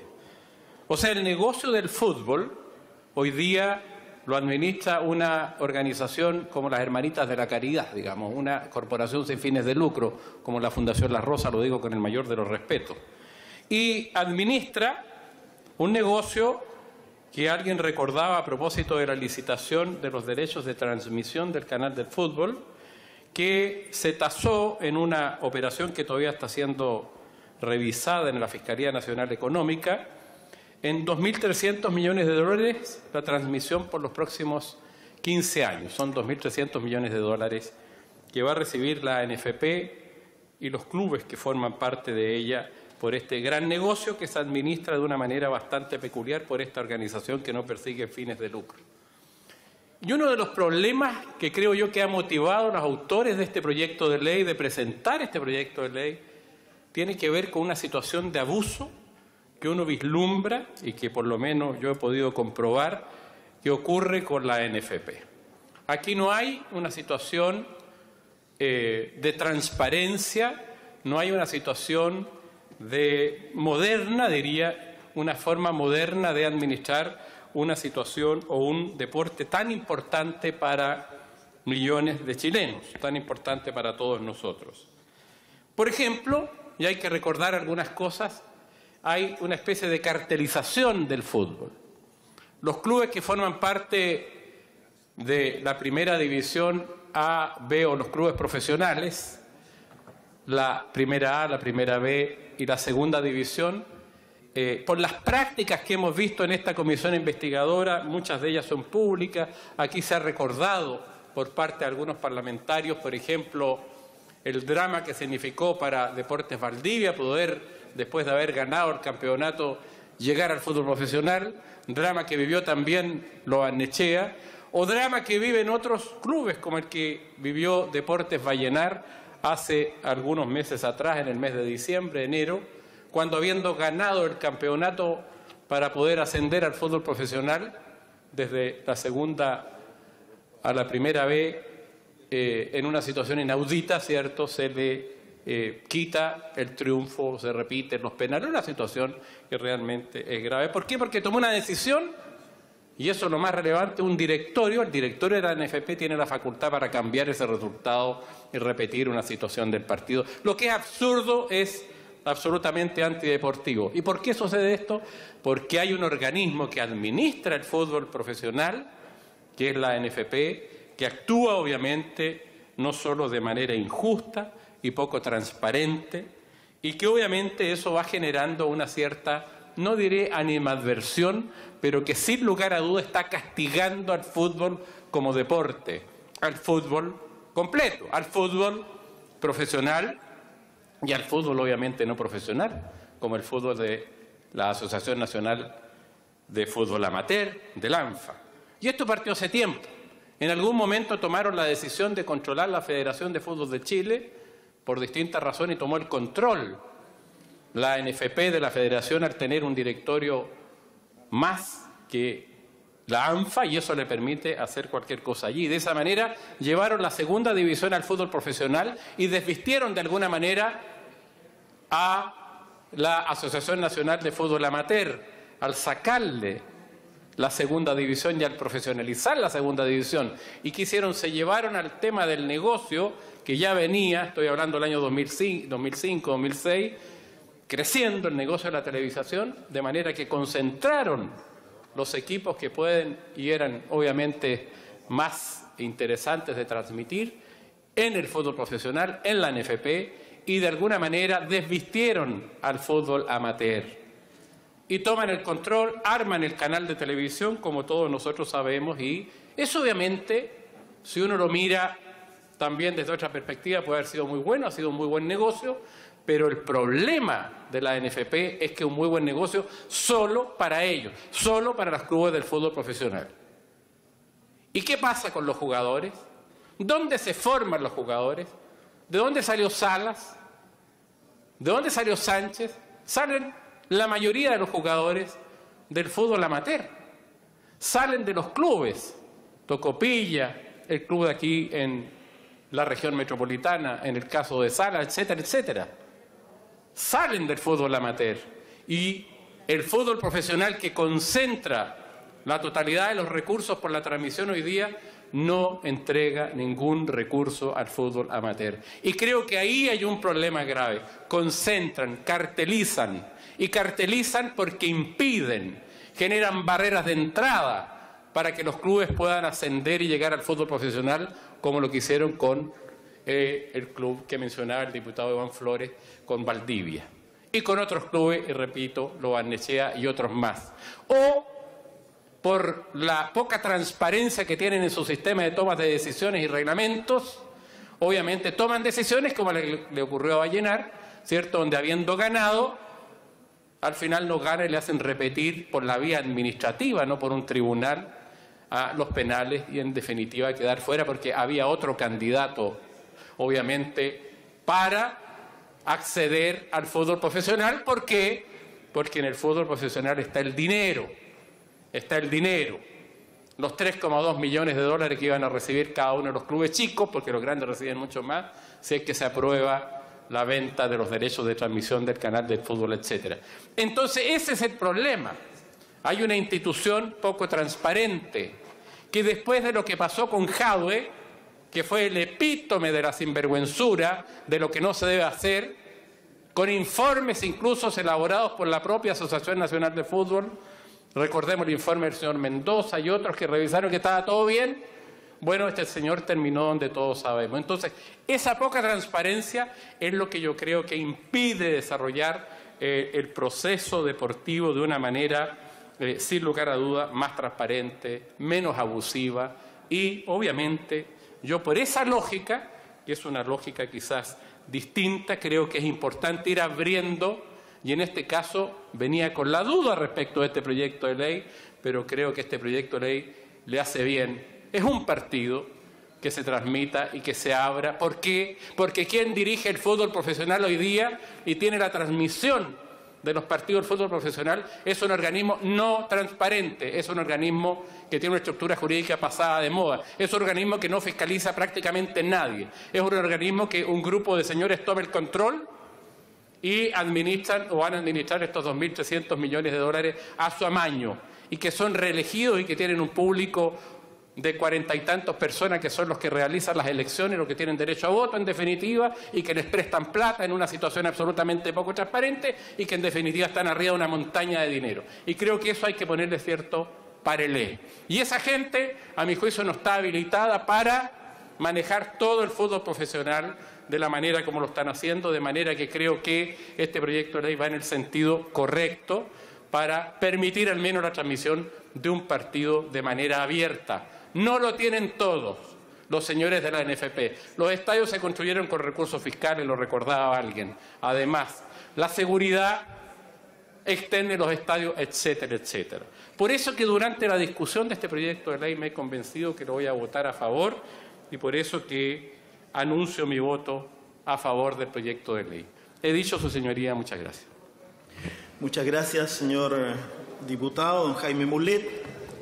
Antes de ofrecerle la palabra a quien hasta ahora me parece como el último de los inscritos, voy a aprovechar de saludar a don Omar González, a don Luis Rebolledo, a don Víctor Almonacid, a don Eugenio Poblete, quienes forman parte de la directiva de la agrupación de trabajadores unidos contra el asbesto de la comuna de Coronel, que han sido invitados por don Enrique Van Rieselberger.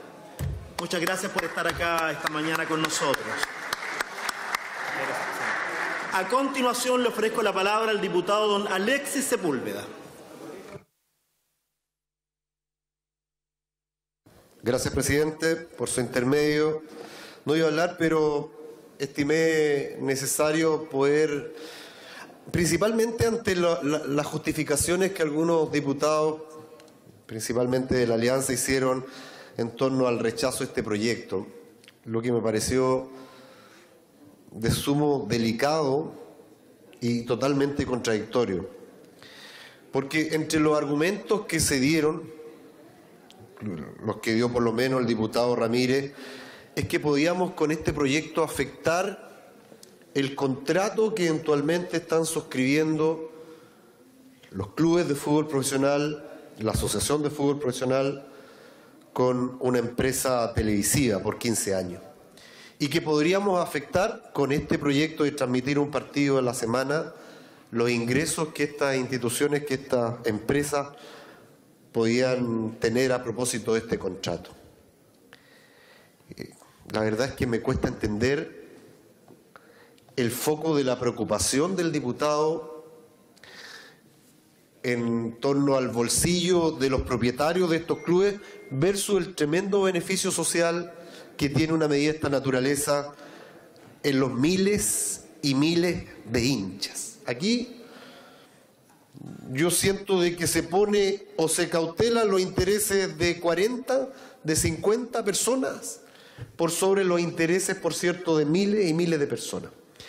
Yo demitifico este, este proyecto no va a afectar un contrato televisivo de esta naturaleza Y a propósito de los recursos que estos clubes podrían eventualmente perder, la pregunta que uno se hace es cuánto han invertido realmente los clubes en sus respectivas instituciones, cuántos estadios han construido estas sociedades anónimas, cuántos estadios han construido estas sociedades anónimas. Aquí se ha dicho, y todos lo saben, la mayoría de los estadios son públicos, son fiscales, pero algunas entidades privadas, Colo Colo en su momento, Católica, y otros clubes han logrado construir sus estadios. Lo hicieron no cuando eran empresas, lo hicieron cuando eran corporaciones sin fines de lucro. Porque en la era de las sociedades anónimas, yo tengo entendido que no se ha construido ningún estadio. Y en la comisión a la que señalaba el diputado Muleda a la que asistimos, la mayoría de aquellas instituciones que fueron sobrepasadas por estas empresas, Club Barnechea, que hoy día existe, ¿ah? en el barrio, en esa comuna, pero que no es el mismo que aparece en la NFP y que cobra los derechos televisivos, bueno, ese club se mantiene, está en un litigio por el uso del nombre y se preocupan de mantener las divisiones inferiores. ¿Cuál es la inversión que realmente hacen estos propietarios por el fútbol? Prácticamente cero. Lo que les interesa es cobrar estos derechos televisivos en torno a un negocio, un proyecto social que no nació del ámbito privado, que nació a propósito del convencimiento del Estado al construir estadios, al fomentar la práctica deportiva y de, por cierto, las ganas y, la, y el coraje de muchos dirigentes que de modo gratuito trabajaron para hacer grandes esos clubes y que finalmente fueron capturados por estas empresas. Yo no soy no estoy en contra de la participación privada en los negocios, pero la verdad es que en esta actividad me cuesta distinguir cuál es el aporte del mundo privado. Cero infraestructura deportiva, bajo compromiso con las divisiones inferiores. El negocio está no en formar deportistas hoy día, principalmente en los clubes de regiones, sino en comprar los derechos, tenerlo un tiempo y tratar de venderlo eh, con un mejor valor por lo tanto, este proyecto en nada perjudica a lo que nos debe interesar como Cámara, como Parlamento, en nada perjudica a los miles y miles de chilenos, en nada perjudica a los hinchas de esos clubes. Los únicos perjudicados, si es que lo hay, y yo creo que tangencialmente son los propietarios de estas instituciones que tanto esfuerzo costó crear, que tan fácilmente se apropiaron y que la mayoría de estos recursos televisivos terminan en sus bolsillos. Yo estoy por aprobar este proyecto, presidente. No tiene ningún impacto. Es de mero legítimo abrir la posibilidad de democratizar esta actividad deportiva que está cada vez más restringida, más, cada vez más restringida. Los precios de la entrada. El nulo interés de las instituciones deportivas de controlar la violencia en los estadios, porque mientras menos gente va al estadio, más gente se abona al cable. Y ahí está el negocio, en la televisión. Eso es lo que le preocupa a estas personas que están encabezando el fútbol profesional. Por favor, preocupémonos de los miles de chilenos que quieren ver fútbol, que no cuentan con los recursos o que no cuentan con las condiciones para viajar a las ciudades donde están estos eventos deportivos. Démosle la posibilidad de acceder a esto que es tan mágico, a esto que tanto queremos, que es el fútbol, el fútbol de todos, como era antiguamente. Muchas gracias, presidente. Muy bien. Muchas gracias a usted, señor diputado. No habiendo más inscritos eh, para hablar en este proyecto, se cierra el debate. Seguimos con visitas en nuestras tribunas. Vamos a saludar ahora a las alumnas del cuarto año medio del Colegio La Mesonet de Vitacura que vienen con eh, doña Oriana Martínez, entiendo, ¿no es cierto?, que es la profesora que los acompaña, y que han sido invitadas por nuestro amigo diputado don Francisco Undurraga. Bienvenidas y muchas gracias por venir a visitar la Cámara de Diputados. A continuación corresponde eh, la discusión del informe de la Comisión Especial Investigadora del uso de los recursos de la ley reservada del cobre para la reconstrucción de zonas afectadas en las regiones de Antofagasta y Atacama por el frente de mal tiempo ocurrido el año 2015, de conformidad a la ley 20.833. Eh, según el acuerdo de los comités, se van a destinar 10 minutos para la rendición del informe y una hora para el debate, que ha sido distribuida eh, proporcionalmente entre las bancadas, según los tiempos que ustedes tienen en sus eh, pupitres. Voy a solicitarle a la diputada Sofía Cid que nos rinda el informe de la comisión investigadora. Y con eso, entonces, luego iniciamos la discusión sobre este informe. Diputada Sofía Cid, por favor. Puede hacer entonces usted uso de la palabra.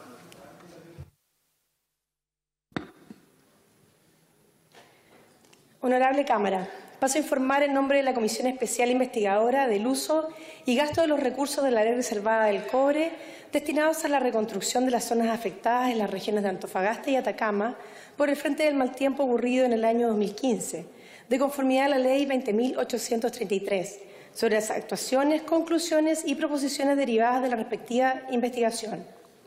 La segunda sesión constitutiva se efectuó el 16 de mayo del 2018 con la asistencia de los diputados señores Nino Baltolú, Loreta Carvajal, José Miguel Castro, Sofía Cid, Juan Manuel Fensalía, Marcela Hernando, Daniela Chicardini, Nicolás Noman, Daniel Núñez, Catalina Pérez y Gabriel Silver quienes eligieron por mayoría de votos como presidenta de la comisión a la diputada Daniela Chicardini por siete votos.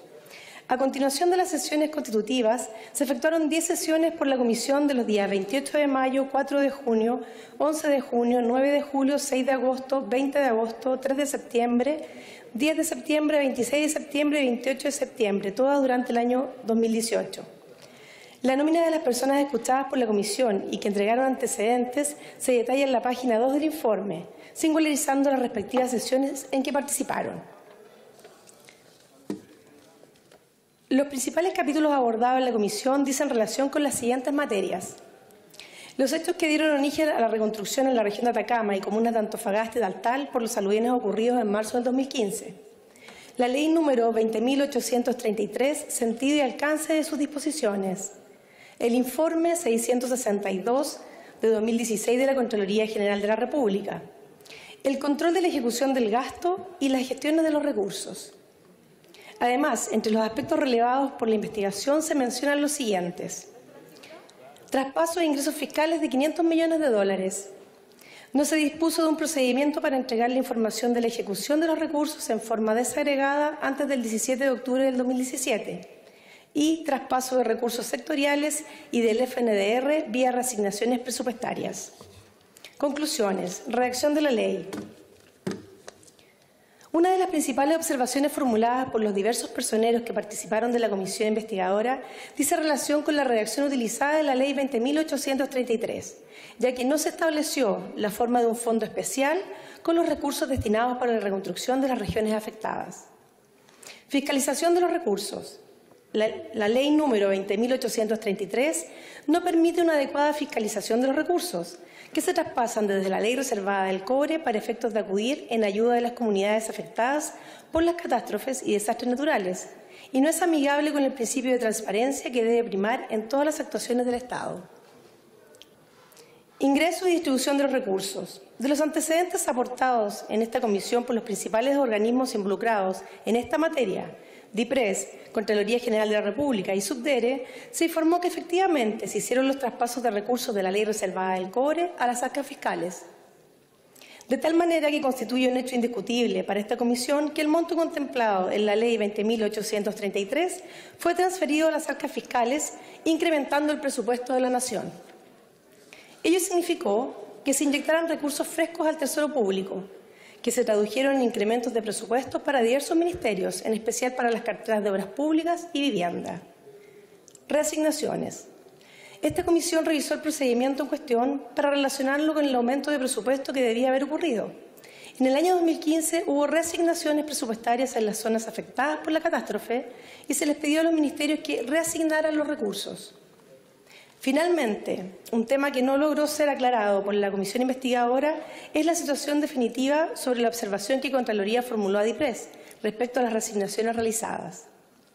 En virtud de lo anterior, se informó que el órgano contralor, que DIPRES se encontraría en incumplimiento de la ley, debido a que el gasto presentado en el informe semestral del periodo de 2015 fue ejecutado con cargo a reasignaciones presupuestarias para el año 2015 y no los recursos derivados de la ley 20.833 tras su incorporación al Tesoro Público. Al respecto, según lo informado por DIPRES, se solicitó a la Contraloría General de la República que considerara el comentario por un tema que denominaron riesgo de inoperatividad. Esos movimientos se realizaron mediante decretos de reasignaciones presupuestarias y se les señalan que no pueden usar dichos decretos. Les estarían diciendo que no pueden ejecutar el gasto no solo en el caso de esta ley, sino en los distintos tipos de gastos.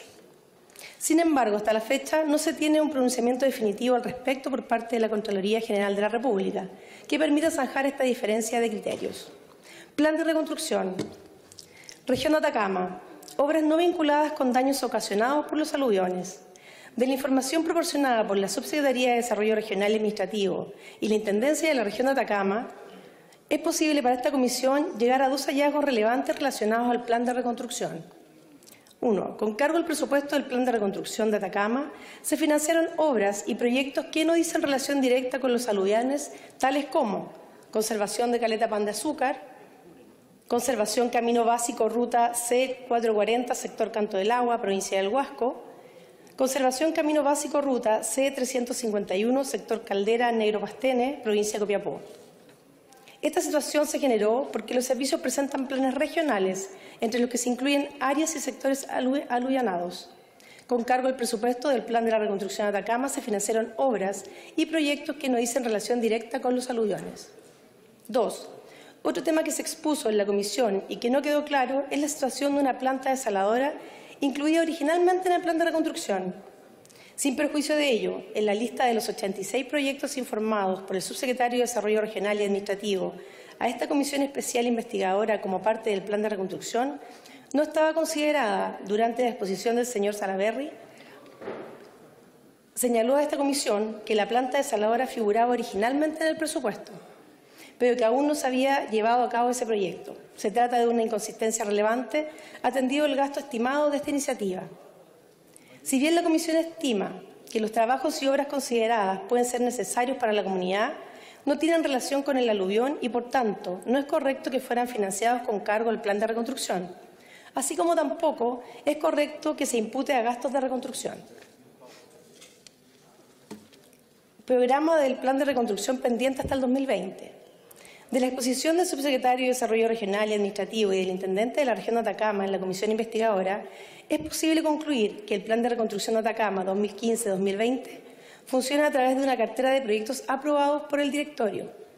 A la fecha de cierre del trabajo de esta comisión, estaría conformado por 86 iniciativas o proyectos con un presupuesto estimado de, 4, de 469.500 millones de pesos. Asimismo, ambas autoridades señalaron que respecto a este presupuesto se encuentra ejecutado un 54%. En este sentido, es importante hacer presente que el plan de reconstrucción para la región de Atacama está contemplado hasta el año 2020, quedando pendiente la realización de varios proyectos necesarios para la región y cuyos recursos ya estaban comprometidos en el gobierno anterior. Por ello, el rol, que debe jugar el directorio del plan de reconstrucción es fundamental para la fiscalización y ejecución de los recursos comprometidos para la región de Atacama donde participan diversas autoridades regionales, quienes tienen la obligación de revisar y hacer el seguimiento de dicho plan. En la región de Antofagasta. En cuanto a la región de Antofagasta, a diferencia de Atacama, no se constituyó un plan específico de, reconstrucción, ya que como los daños estaban focalizados, se tuvieron que enfrentar de manera sectorial. Se levantaron iniciativas específicas en las comunas mencionadas, Antofagasta y Taltal, por un total de un poco más de 10.000 millones de pesos información que fue recogida por la Unidad de Emergencia y Gestión de la Subsecretaría del Interior.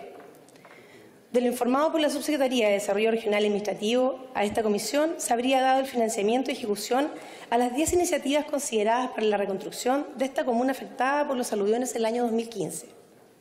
Recomendaciones. Se sugiere dejar claramente establecido en las futuras leyes de financiamiento para reconstrucción por catástrofes o desastres naturales el sistema utilizado en la Ley 20.455, esto es, determinando la destinación inmediata y exclusiva de los recursos obtenidos, De esta manera, cada vez que se realice un gasto en, en tareas de reconstrucción, se impute a esos recursos y vayan disminuyendo hasta su total utilización. En las futuras leyes de financiamiento para reconstrucción por catástrofes o desastres naturales, se recomienda establecer la creación de un fondo especial, donde se contemplen recursos exclusivamente para fines de reconstrucción y además establecer la obligación de informar respecto de la ejecución de tales recursos de manera desagregada, detallando los ministerios y los servicios que han sido destinados. 3. A mayor abundamiento, se recomienda dejar señalado expresamente en el texto legal que los recursos comprometidos para estos fines son adicionales al presupuesto normal en que cuenta el Estado. Además, se recomienda que en las futuras leyes que puedan surgir a raíz de este tipo de desastres naturales se establezca un texto legal, un procedimiento de fiscalización que permita hacer un seguimiento a la ejecución de los recursos, determinando quién será el ente fiscalizador a cargo de ello, así como los indicadores precisos que determinen cómo se debe gastar cada peso de los fondos transferidos para los procesos de reconstrucción. 5. Se recomienda hacer presente al Ejecutivo para que por medio de la Subsecretaría de Desarrollo Regional y Administrativo realice un informe a la fecha que sea único, centralizado y actualizado de los costos, gastos y avances de la reconstrucción de Antofagasta y Atacama por los aluviones del 2015, como aplicación real de las normas de probidad y transparencia. 6. Sería necesario, y acorde a la transparencia debida a la ciudadanía, que la Subsecretaría de Desarrollo Regional y Administrativo explicara a la comunidad que no se destinaron 500 millones de dólares para la reconstrucción directamente, sino que se estableció una obligación de invertir o gastar los 500 millones de dólares en un periodo de tiempo definido por el plan de reconstrucción en ejecución hasta el año 2020. 7. Se sugiere que en lo sucesivo el director del plan de reconstrucción Atacama evita introducir nuevos cambios al procedimiento establecido, considerando que aún quedan dos años para dar cumplimiento al Plan de Reconstrucción de Atacama 2015-2020. Introducir nuevos cambios podría generar problemas adicionales en el seguimiento de la ejecución de obras. 8. Se propone, en consecuencia, solicitar al directorio del Plan de Reconstrucción de Atacama que informe respecto de las razones por las cuales se incorporaron algunos proyectos que no guardan relación con las zonas afectadas por los aluviones del año 2015. Peticiones. Enviar oficio al presidente de la República, al subsecretario de Desarrollo Regional, al intendente de la región de Atacama y al gobierno regional de Atacama a fin de que dé cuenta respecto de los avances en el plan de reconstrucción durante el año 2018, ya que al tratarse de una obligación traspasada de una administración a otra, se debe dar garantías a la ciudadanía de que se continuará con su ejecución proyectada hasta el año 2020. Dos, se propone solicitar a la Contraloría General de la República que se pronuncie en definitiva respecto de la solicitud de DIPRES junto a Subdere para dar cumplimiento al deber de informar que estableció la Ley 20.833, ya que hasta la fecha no se tiene certeza respecto del pronunciamiento del organismo Contralor en torno a verificar si cumple o no con los estándares y precisiones requeridas por la ley. Votación de la proposición y conclusiones. En la sesión número 10 de la comisión se puso en votación el texto de las conclusiones y proposiciones consignadas en el informe, las que fueron aprobadas unánimemente por las diputadas Daniela Chicardini, Sofía Cid, Marcela Hernando y los diputados Nino Bartolú, Jorge Ratcher, Carlos Ignacio Kuchel y Cristian Moreira. Muchas gracias, señor presidente. Muchas gracias a usted, diputada Sofía Cid, por haber rendido el informe de la Comisión Especial Investigadora del Uso de los Recursos de la Ley Reservada del Cobre para la reconstrucción de las zonas afectadas en las regiones de Antofagasta y Atacama por el Frente del Mal Tiempo del año 2015. Hasta ahora tenemos inscrito a don Francisco Eguiguren, a don Nicolás Noman y a la diputada Sofía Cid. Por lo tanto, le voy a dar la palabra a continuación para que inicie el debate a don Francisco Eguiguren en el tiempo de la UDI. No, no, no, no. Un breve lapsus, un breve lapsus, y vamos a cambiar de inmediato. Don Francisco Eguiguren en el tiempo de renovación nacional. Gracias, presidente. Señor presidente, si hay una realidad que forma el carácter de nuestro país, son las catástrofes naturales. Sus trágicas consecuencias las conocemos todos. Nosotros en la región de Coquimbo bien sabemos la dureza con que muchas veces nos golpea estos fenómenos naturales. Por lo mismo, estos hechos provocan sentimientos intensos de unidad, de compromiso, de solidaridad entre todos los chilenos. Lamentablemente, con el paso de los días se diluyen los recuerdos y también los esfuerzos por reconstruir material y humanamente lo que la catástrofe provocó. Es ahí, presidente, cuando enfrentamos la dura realidad que es ver cómo se atrasan en la burocracia estatal las mejores intenciones y juntos con ella los, recuerdos, los recursos que el Estado, o sea, de todos nosotros, destina a las víctimas, a las comunidades, a las aldeas, a los pueblos y a las ciudades donde habitan. Esta comisión y su informe que conocemos hoy nos muestra una vez más esa realidad. En una maraña administrativa, presidente, en la que nunca podremos dilucidar si definitivamente la respuesta estatal se verificó o no, se insertan las conclusiones de esta comisión.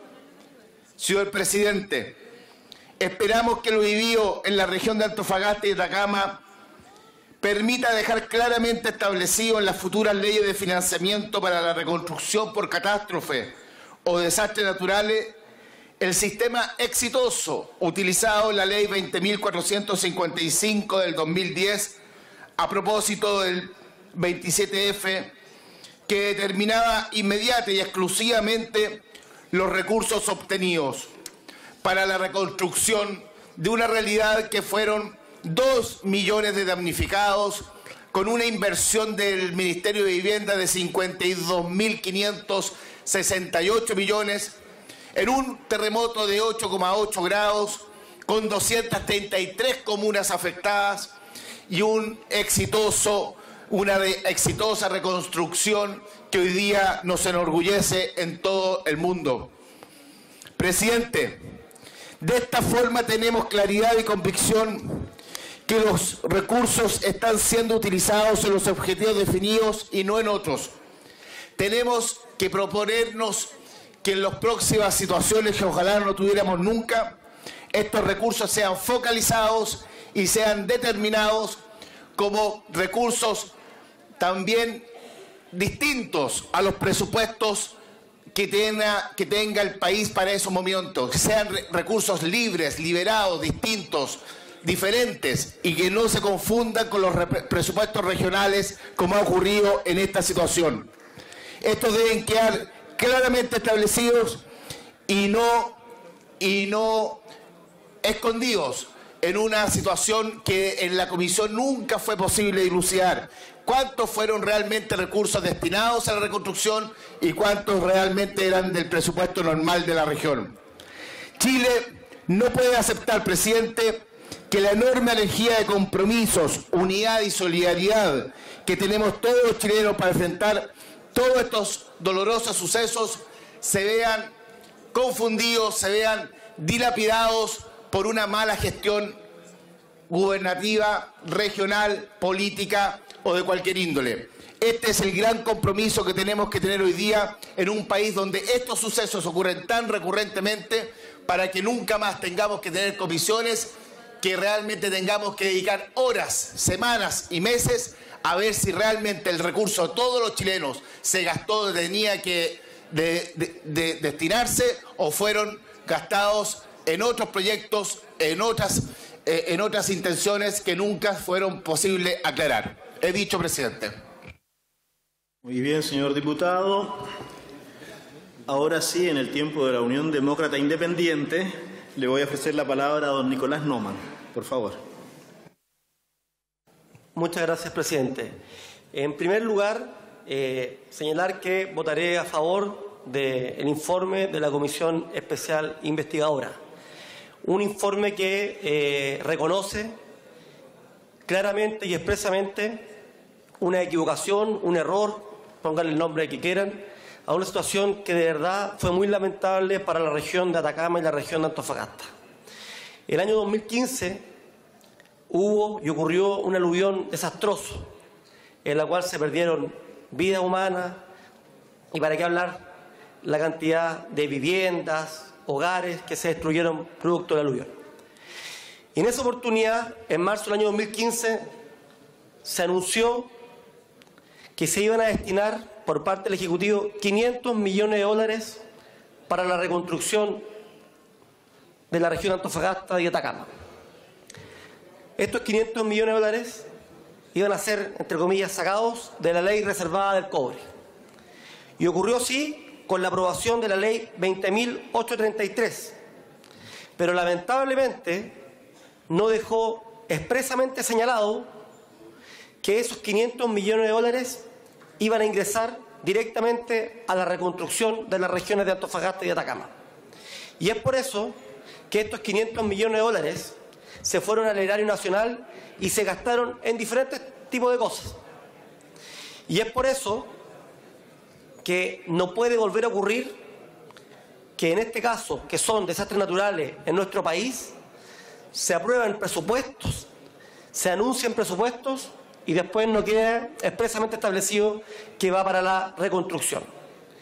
Es por eso que este informe especial de la Comisión Investigadora, en una de sus conclusiones, y de acuerdo a todos, señala que para los próximos eventos desastrosos que tengamos en nuestra región, en nuestro país, no nos vuelva a ocurrir lo que ocurrió en esta oportunidad y que he señalado que van a ser dineros o recursos aprobados por el Congreso, pero destinados directamente a la reconstrucción de las zonas. Así que, presidente, muchas gracias por la oportunidad y dejarle claro a la ciudadanía que, en virtud de los antecedentes y los hechos eh, recopilados después de recibir al intendente de la región de Atacama, al director de presupuestos, al señor Contralor, al señor subsecretario de la, de la Subsecretaría de la Subdere, hemos llegado a este acuerdo. Muchas gracias, presidente. A usted, señor diputado. Ahora vamos a volver entonces a la bancada de Renovación Nacional y le vamos a dar la palabra a doña Sofía Cid, nuestra diputada informante, quien además entonces va a hacer uso de la palabra para intervenir en este informe. muchas gracias, señor presidente. El objetivo de presentar esta solicitud para crear una comisión investigadora fue hacer más transparente el proceso de reconstrucción después de los aluviones del 25 de marzo del 2015. Señor presidente, quienes vivimos la traumática experiencia de los aluviones junto a nuestras familias en Atacama, todavía tenemos vivo el recuerdo de un largo día y de una noche interminable. El trabajo de esta comisión se enfocó precisamente en dar una respuesta a los habitantes de las comunas de Diego Almagro, Chañaral, Copiapó, Tierra María y Alto del Carmen. Este informe refleja fielmente los hallazgos de la comisión. Lo primero que quiero señalar a esta sala es que los recursos efectivamente ingresados a las arcas fiscales, pero como lo hicieron al Tesoro Público, se confundieron con otros recursos e incrementaron el valor de otros activos del Tesoro Público. Sin perjuicio de lo anterior, la ley no permite concluir que realizó un aumento al FNDR o a los presupuestos sectoriales equivalentes a 500 millones de dólares. Otro aspecto que ha restado credibilidad al proceso es precisamente que se dio a entender a la comunidad que los recursos serían destinados directamente y exclusivamente a la reconstrucción. Esto no fue así y gran parte de las obras se han realizado con cargos a reasignaciones presupuestarias.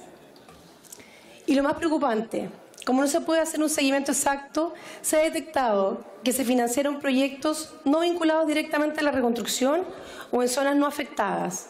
Esta situación confirma las aprensiones de la ciudadanía en torno al proceso y nos obliga a asumir los errores y buscar mecanismos que permitan enmendar el rumbo. Señor presidente, los vecinos de estas comunas no ven avances en obras definitivas a tres años de los aluviones la ciudadanía se siente abandonada y todo el proceso de reconstrucción se encuentra envuelto por un manto de dudas. En ejercicio de las facultades fiscalizadoras de esta corporación, debemos hacer efectiva la transparencia en el proceso de reconstrucción, como un estándar mínimo ante los vecinos afectados que todavía esperan soluciones. Aún existen barrios de emergencias, con familias que no tienen una solución definitiva a más de tres años de la tragedia. Hago un llamado a todos mis colegas a aprobar este informe como un primer gesto de reparación para Atacama y para quienes vivimos ahí. Es una obligación moral que tenemos con quienes aún viven esta pesadilla. El proceso de reconstrucción está contemplado hasta el año 2020, por lo que todavía estamos a tiempo de corregir algunos de estos errores por el bien de las familias que perdieron todo en Diego Almagro, Chañaral, Copiapó, Tierra María y Alto del Carmen. Pero también los invito a votar a favor este informe como una forma de evitar repetir los errores cometidos en el caso de Atacama en futuros procesos de similares características. Habiendo la Comisión dado una respuesta seria y contundente dentro de los límites impuestos por el transcurso del tiempo y por la burocracia estatal, anuncio mi voto favorable del informe, convencida que es un primer paso en la dirección correcta. He dicho, señor presidente. Muchas gracias, eh, señora diputada. A continuación le voy a ofrecer la palabra al diputado Jaime Mulet, pero antes me van a dar la posibilidad primero de saludar al Club de Adulto Mayor Alegría de Vivir de Copiapó, que están sido invitados por el diputado Nicolás Noman. Muchas gracias por estar acá. Luego, nuestra diputada Cristina Girardi nos ha pedido saludar al primero medio A del Liceo Poeta Paulo Neruda de Loprado.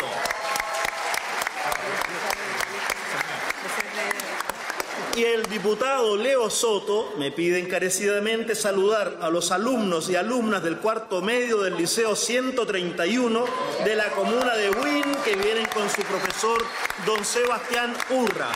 A todos muy bienvenidos a la Cámara de Diputados de Chile. Muchas gracias por estar acá. A continuación entonces le ofrezco la palabra al diputado don Jaime Mulet. Muchas gracias, presidente.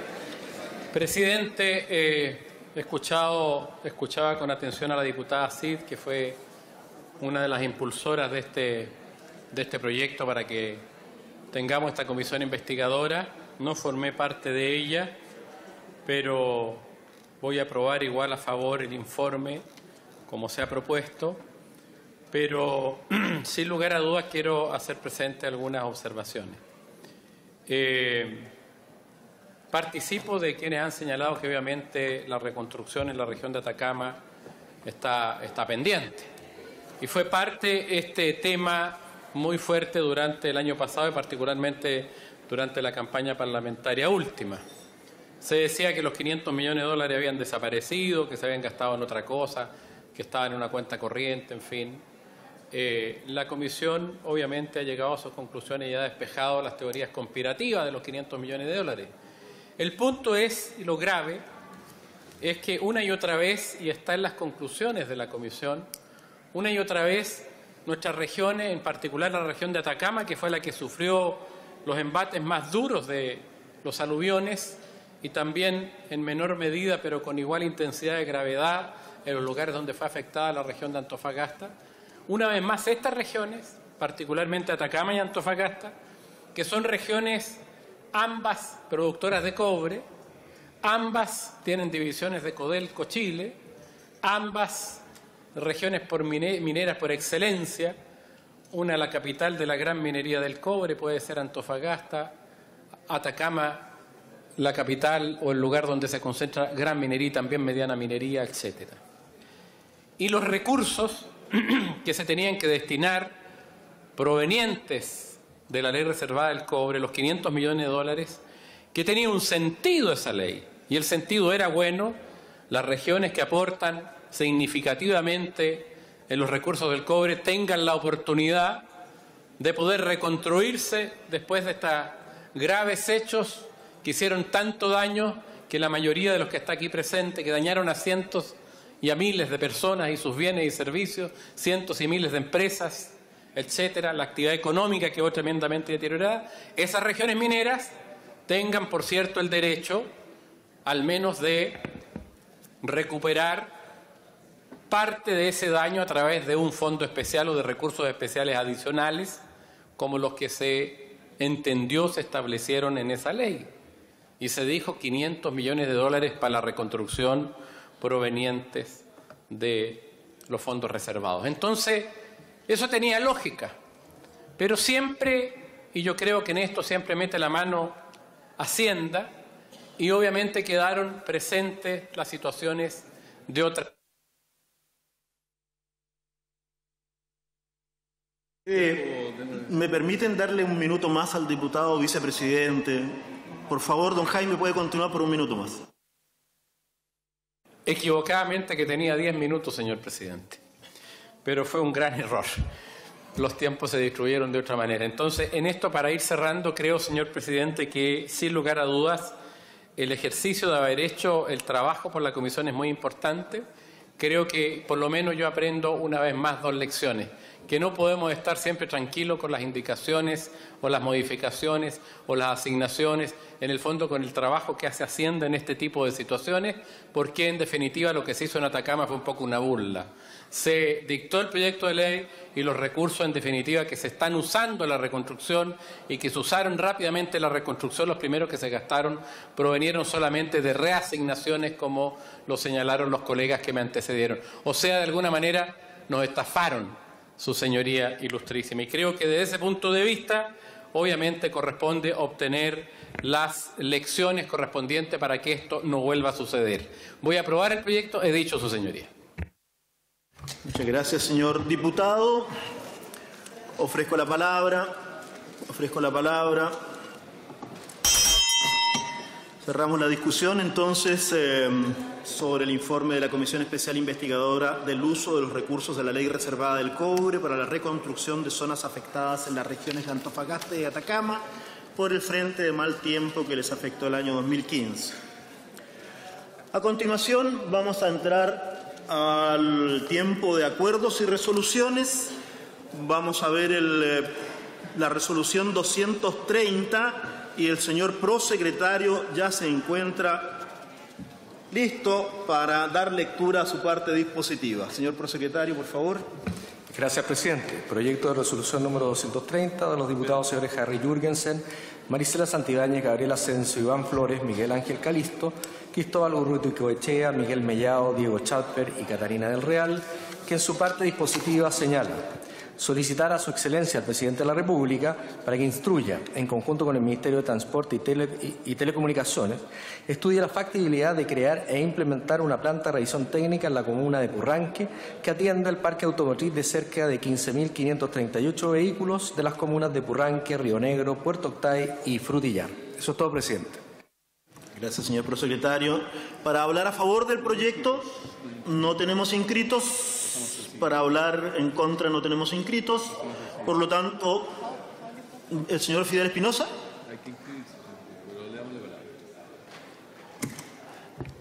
¿Quién va a hacer uso de la palabra, señor Espinosa?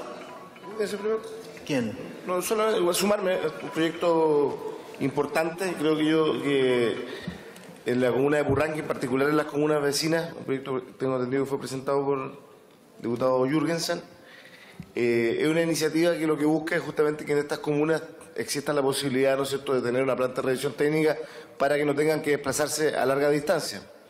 Muchos algunos plantean de que está cerca Burranque de Osorno, o que Puerto Octay y Río Negro están cerca de Osorno, pero hay cientos y cientos de localidades rurales que en definitiva se transforman en un grave problema, ¿no es cierto?, la revisión técnica. Sería importante que... Eh, la comuna de Burranque pueda contar con un centro allí que podría, además, permitir el acceso más fluido con toda la conectividad que ha habido en el último tiempo, desde Puerto Octaya a Burranque, desde Río Negro a Burranque, tener la posibilidad, obviamente, que esta iniciativa se concrete. El alcalde Héctor Barría, alcalde de Burranque, está muy satisfecho también de que se haya presentado y agradece que se haya presentado este proyecto de acuerdo por parte de los parlamentarios que lo, que lo firmaron. Y yo, por cierto, también hago un llamado a, mi bancada y al, al resto de bancadas de la Cámara que lo podamos apoyar positivamente.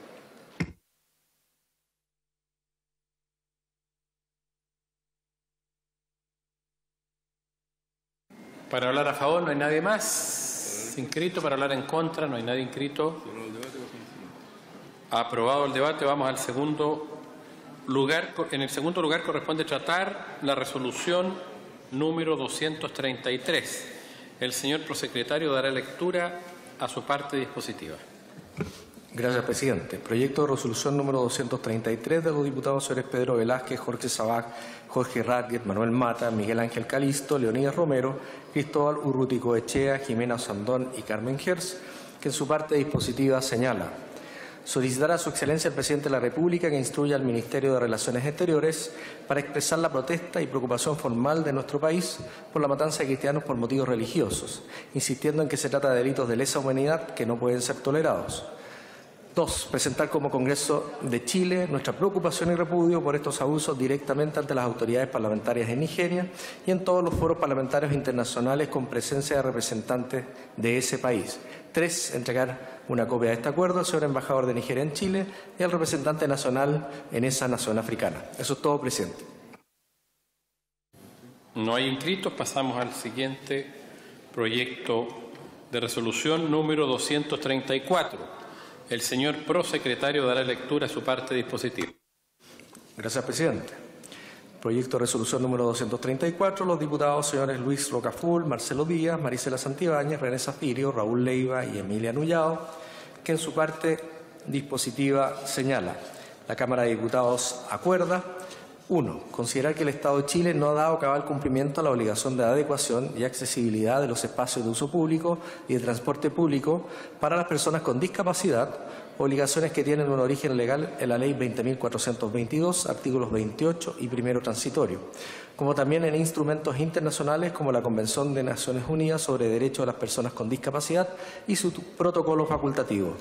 Dos, que las deficiencias se enfocan principalmente en las casas de adecuación de infraestructuras de uso público, transporte público concesionado y carreteras o caminos, sean estos administrados de forma directa por el Estado o a través de concesionarios, materializado esto último en la necesidad de adecuación de sus pasarelas peatonales. Tres, lo anterior constituye una vulneración de los derechos fundamentales de las personas con discapacidad las que se ven limitadas en el ejercicio de su derecho constitucional de libertad de tránsito al no contar con espacios públicos que permitan su libre desplazamiento, impidiéndoles realizar de forma plena su vida, afectando su dignidad. Cuatro, por lo anterior se acuerda solicitar al presidente de la República para que, en uso de sus potestades reglamentarias, instruya al Ministerio de Obras Públicas para que le otorgue continuidad al plan de regulación de pasarelas que tiene por objeto realizar un catastro de las pasarelas que requieren de las adecuaciones en materia de accesibilidad para personas con discapacidad. Y, en el mismo sentido, se impulsen los cambios de los contratos o concesiones en autopistas vigentes para mejorar la accesibilidad a sus servicios para por personas con discapacidad y dar cumplimiento a la obligación legal contenida en el artículo primero transitorio de la Ley 20.422 como asimismo de un plan de adecuación de edificios o inmuebles de uso público que aún no han cumplido con las exigencias de accesibilidad del artículo 28 de la ley ya mencionada. Quinto, por último, se acuerda solicitar al presidente de la República para que, en uso de sus potestades reglamentarias, instruya al Ministerio de Transporte y Telecomunicaciones la realización de mayores fiscalizaciones a los operadores de transporte de pasajeros mayor en la adopción de medidas de accesibilidad universal, indicando se dará continuidad o no al plan de fiscalización que en esta materia fue iniciado por el gobierno anterior. Eso es todo, presidente. Muchas gracias. Se han inscrito para hablar a favor en primer lugar el diputado Luis Rocaful y en segundo lugar la diputada Carol Cariola. Se ofrece la palabra en primer lugar al diputado Luis Rocaful. Muchas gracias, presidente. Eh, más del 20% de la población chilena está, vive en situación de discapacidad. Y Chile ha suscrito una serie de convenciones internacionales comprometiéndose justamente a la accesibilidad eh, a los edificios públicos, adaptar eh, las líneas arquitectónicas, ¿cierto? Justamente con el fin de que haya una accesibilidad universal. Eh, sin embargo, un último informe de Senade dice que no más del 20% han adaptado su, su infraestructura justamente para las personas que viven en situación de discapacidad. Por lo tanto, como país no hemos cumplido con lo que nos hemos comprometido. Y más allá de los compromisos internacionales, es cómo nos comprometemos con nuestra propia gente, hacemos un país más inclusivo. En función de eso, presidente, y en honor al tiempo, el proyecto de acuerdo tiene por objetivo pedir al presidente de la República justamente que haga efectivo estos compromisos que tenemos como país, que tenemos con nuestra gente principalmente, al Ministerio de Obras Públicas el acceso universal a las pasarelas. Hoy día hay pistas concesionadas que separan territorios, sin embargo, unen territorios para algunos, pero otros los separan, lo hace imposible, hace inviable. A veces una persona con silla de ruedas cruzar hacia el otro lado, por lo tanto, hay un protocolo eh, de acuerdo justamente que debiera operativizar las obras públicas y no lo ha hecho. Y de la misma manera, fiscalizar justamente al transporte público a través del Ministerio de Transporte, ¿cierto? Si ha cumplido y si debe cumplir y cómo debe cumplir justamente todos estos compromisos que hemos asumido como país. Así que, presidente, espero la aprobación de toda la Cámara justamente con el fin de poder hacer efectivos los compromisos que hemos asumido como país. He dicho, señor presidente. Muchas gracias, diputado. Tiene la palabra por el tiempo restante la diputada Carol Cariola. Muchas gracias, presidente. Yo quisiera secundar y respaldar esta solicitud a través de este proyecto de acuerdo que ha hecho el diputado Luis Rocaful, quien además ha sido impulsor en esta Cámara de Diputados no solo de este proyecto de resolución, sino que de políticas públicas concretas a través de proyectos de ley que incentiven la inclusión de personas en situación de discapacidad. Él hablaba de un 20%. Eh, pongámosle número, estamos hablando de más de 2.800.000 de personas en nuestro país que viven en situación de discapacidad. Y que la verdad es que no es que ellos sean discapacitados o inválidos, como les dicen algunos, sino que es más bien la sociedad los que los discapacitan. ¿Y sabe por qué, presidente? Porque ellos podrían tener capacidades si es que nosotros tomáramos las medidas de que aquellas acciones que tienen que ver con el, con el accionar público, que tienen que ver con las veredas, que tienen que ver con las calles, que tienen que ver, por ejemplo, con establecer medidas como ascensores en espacios públicos de uso cotidiano para que ellos pudieran tener el mismo acceso y la misma capacidad que el resto. No por tener condiciones diferentes los vamos a excluir del desarrollo cotidiano. Y eso es lo que ocurre en la práctica. Cuando hay una pasarela que no tiene acceso para una silla de ruedas, los estamos discapacitando. Cuando hay un colegio que no tiene ascensor para que los niños en situación de discapacidad en una silla de ruedas pueda subir a la sala que le corresponde, lo estamos discapacitando. Cuando no tomamos medidas para que las instituciones públicas inviertan en esto, sencillamente, presidente, lo que estamos haciendo es que nosotros contribuimos a la exclusión de personas que tienen igualdad de derechos que cada uno de nosotros y nosotras. Es por eso que yo no solamente apoyo este proyecto de resolución, porque además es lamentable que asumamos compromisos internacionales, desarrollemos proyectos de ley. Acá aprobamos una ley que está en el Senado que tiene que ver con la inclusión de los juegos infantiles para niños en situación de discapacidad en las plazas como una obligación dentro de los planes que se desarrollan desde el servicio público.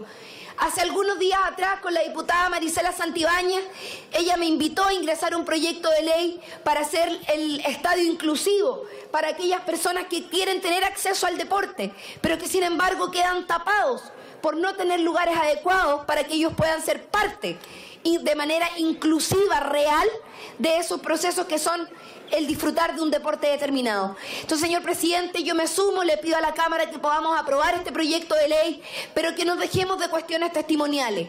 O sea, de, acuerdo, perdón, que nos dejemos de cuestiones testimoniales y que el gobierno se haga cargo de implementar lo que es hoy día una obligación, que son las políticas de inclusión desde el punto de vista de las obras públicas, pero también desde el punto de vista de la educación y de otros mecanismos para que la sociedad deje de discapacitar a aquellas personas que tienen una situación diferente. He dicho, presidente, muchas gracias.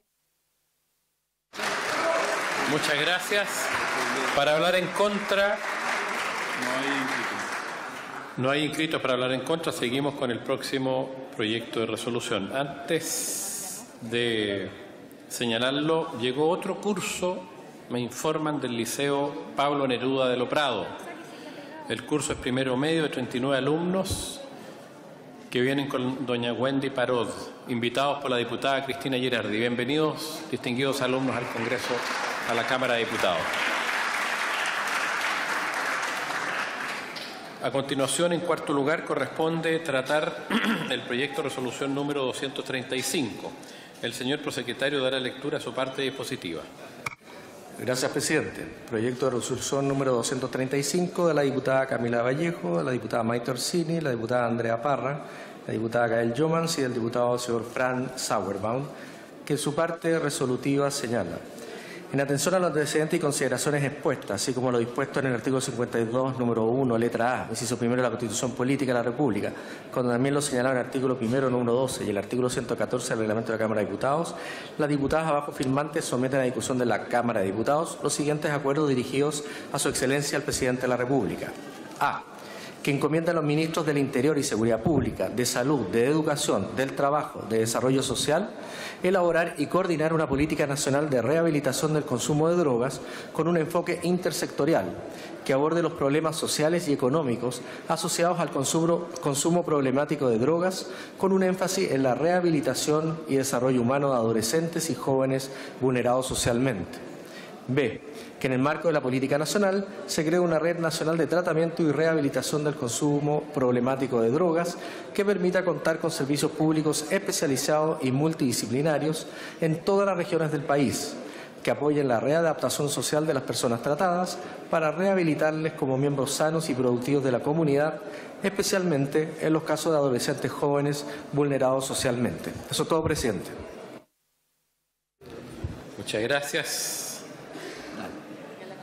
Aprovechamos de saludar a la Organización de Voluntariado Social Santiago Centro. Vienen acompañados por la presidenta señora María Salinas, invitados por el diputado Luciano Cruzcoque. Bienvenidas al Congreso, distinguidas damas. Se han inscrito para actuar, para hablar a favor de este proyecto de ley en este orden las diputadas Andrea Parra y Alejandra Sepúlveda. Ofrezco en primer lugar la palabra a la diputada Andrea Parra.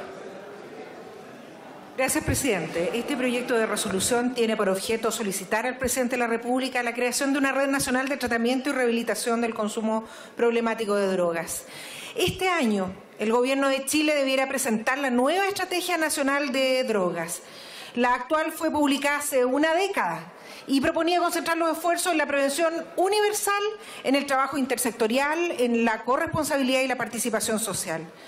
Sin embargo, hasta ahora no hay luces respecto a la orientación que tendrá la política nacional durante los próximos años. Tampoco se ha conocido una evaluación acuciosa del verdadero impacto de las medidas impulsadas, aunque todo indica que los resultados no han sido positivos de acuerdo a los objetivos trazados. En consecuencia, lo que parece pertinente es que la nueva estrategia nacional se construya desde un enfoque más integral que incorpore la visión de la academia, de expertos, de la sociedad civil y, por supuesto, del Poder Legislativo. Sería un profundo error que desaprovecháramos esta oportunidad para abordar desde una perspectiva multisistémica los diversos fenómenos que causan y profundizan la problemática de drogas. La evidencia ha sido concluyente que los esfuerzos deben concentrarse en los mecanismos de prevención, pero al mismo tiempo ha sido enfática en señalar que tenemos una gran deuda en materia de tratamiento y rehabilitación del consumo. En esta área el Estado es un agente más bien ausente. Ha asumido un rol secundario y ha dejado que la oferta privada sea predominante. Esta renuncia provocaba lo que ya sabemos, el tratamiento y la rehabilitación es una alternativa para unos pocos en su mayoría para personas y familias de ingresos más altos. Como Estado tenemos una gran deuda, pero al mismo tiempo tenemos una gran oportunidad de revertir esta dinámica que afecta a miles de chilenos y chilenas. Es fundamental, tal como propone este proyecto de resolución, crear una red nacional de tratamiento y rehabilitación del consumo de drogas. Para ello es crucial que el Estado asuma un rol activo y articulador en función de responder de manera temprana a una demanda tan sensible. El Estado debe modernizar y modificar el enfoque hasta ahora empleado. Resulta pertinente que en las prisiones se refuerce este tipo de política y que al mismo tiempo se amplíe la cobertura pública. Por último, quiero señalar que es el momento de pensar seriamente en que la política de drogas se coordine desde el Ministerio de Salud, no desde la cartera de Interior. No se trata de un tema de control. Quienes tienen problemas de adicción son personas que están enfermas y que requieren tratamiento. En consecuencia, lo que parece apropiado es que esta materia tan compleja cambie su dependencia. Sin duda, este debe ser uno de los problemas más profundos y recurrentes que escuchamos exponer a la ciudadanía cada vez que estamos en terreno. Por eso pido la votación a favor de este proyecto de resolución. Gracias, presidente. Muchas gracias, diputada. En el tiempo restante, para hablar a favor, la diputada Alejandra Sepúlveda tiene la palabra. Muchas gracias, presidente. Yo creo que hay una conciencia en esta, en esta sala de lo complejo y lo difícil que puede tratar este tema. Y yo diría uno de los temas más eh, hoy día, ¿no es cierto?, que tienen más repercusiones al interior de la familia y al interior, ¿no es cierto?, de, la sociedad. Por eso, presidente, yo me alegro de este proyecto de acuerdo que se está presentando, agradecer a las diputadas, además que los han presentado, y reiterar eh, la urgencia de que el gobierno pueda enviar lo que tiene que ver con la política nacional de rehabilitación del consumo de, de drogas. Hoy día necesitamos urgente esta mirada intersectorial más allá, eh, y entiendo que tiene que ser el Ministerio de Salud, pero el Ministerio de, de, del Interior de Seguridad, lo que tiene que ver con salud, con educación para tener las medidas de prevención, el de trabajo, el de desarrollo social, los distintos ministerios que nos permitan abordar este tema. Este, este tema no es solo de un ministerio, sino cómo vamos coordinando los distintos ministerios, desde la prevención hasta, hasta lo que tenemos que abordar, que hoy día es la rehabilitación. Yo, yo lamento, presidente, que cuando tenemos que revisar el presupuesto de la Nación, si hay algo que nos convoca, hay algo que los diputados en forma unánime y diputadas en forma unánime estamos chequeando permanentemente todo lo que tiene que ver con los recursos para enfrentar este, este tema. Hemos presentado como federación una modificación importante para incorporar en las mutuales también lo que tiene que ver con el tratamiento de droga, no solo de alcohol, sino también el de droga y poder conseguir más recursos para actuar en este, en este tema. Es por eso, presidente, que vamos a concurrir, yo creo que la mayoría de nosotros, a votar favorablemente, pero esperamos también que desde el Congreso las iniciativas parlamentarias puedan tener las urgencias necesarias para tener más recursos y mejorar la coordinación de los servicios. Muchas gracias, presidente. Para hablar en contra no ha inscrito nadie. Terminando con el tiempo de los proyectos de resolución, de resolución corresponde ahora votar los mismos. En votación, la resolución número 230 que solicita crear una planta de revisión técnica en la comuna de Purranque.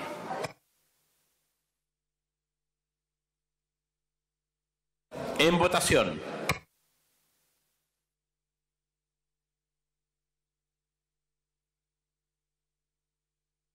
Han votado las señoras y los señores diputados.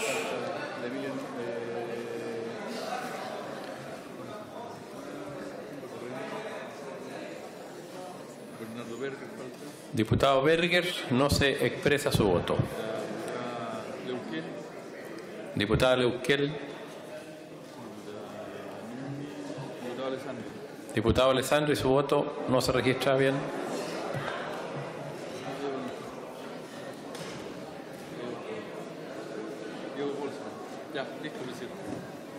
Resultado de la votación. Por la afirmativa, 118 votos y 3 abstenciones. Aprobada la resolución número 230.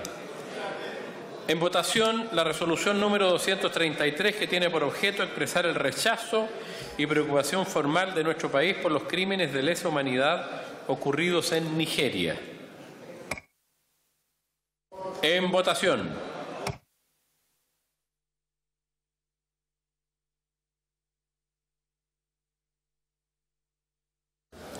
¿Han votado las señoras y los señores diputados?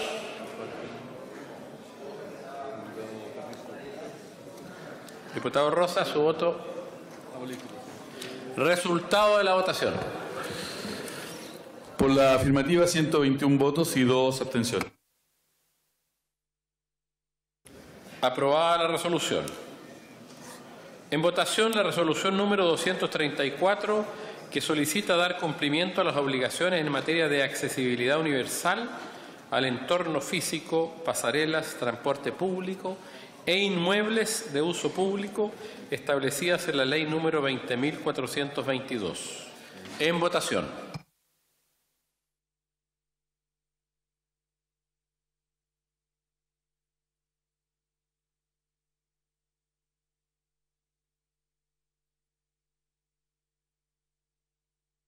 Diputada Virginia Troncoso, su voto no se registra. Diputado Naranjo, estamos. Resultado de la votación. Por la afirmativa, 125 votos. Aprobado la resolución número 264. En votación, la resolución número 235 que solicita la creación de una política y una red nacional de tratamiento de rehabilitación del consumo problemático de drogas. En votación.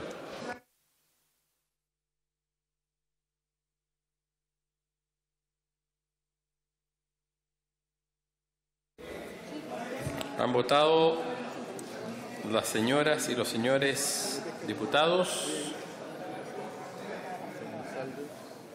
Diputado González, su voto. Diputado Saldivia, su voto no se, Saldívar, su voto no se registra. Resultado de la votación. Por la afirmativa, 128 votos y una abstención. Se aprueba la resolución número 235. Corresponde votar en particular el proyecto de ley iniciado en moción que establece normas sobre transmisión de los partidos de fútbol nacional y acceso de los medios de comunicación a los estadios. El artículo 1 se da por aprobado ipso iure por no haber sido objeto de indicaciones en la discusión del primer informe ni de modificaciones en el segundo, en virtud de lo dispuesto en el artículo 131 del reglamento de la Corporación. En votación el resto del articulado propuesto por las Comisiones Unidas de Cultura, Arte y Comunicaciones y de Deporte, Recreación en su segundo informe. En votación.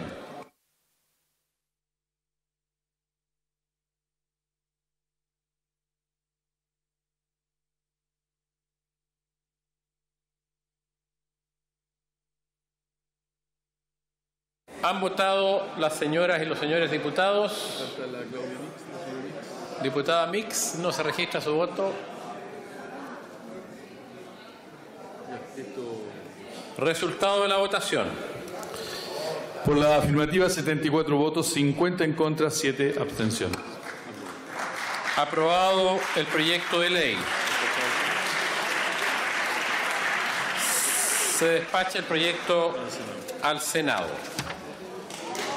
En votación, el informe de la Comisión Especial Investigadora del uso de los recursos de la Ley Reservada del Cobre para la construcción de zonas afectadas en las regiones de Antofagasta y Atacama por el Frente Mal Tiempo ocurrido el año 2015, de conformidad a la Ley 20.833. En votación, el informe de la Comisión.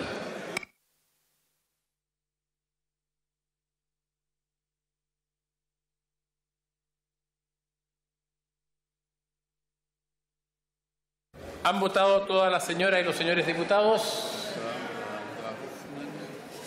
Diputada Hoffman, su voto. Celso Morales. Celso Morales, su voto. Frank Saberwan, su voto. Sauerbaum. Resultado de la votación. Por la afirmativa, 130 votos y una abstención. Se rechaza el proyecto de la comisión investigadora. Aprobado, perdón, aprobado el informe. Aprobado.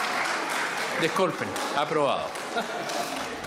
El texto denominado Goles para Todos dispone que la transmisión de un partido oficial del Torneo Nacional de Fútbol de Primera División, que incluye Primera A y B por cada fecha, deberá ser ofrecida para ser emitida en directo por televisión de libre recepción.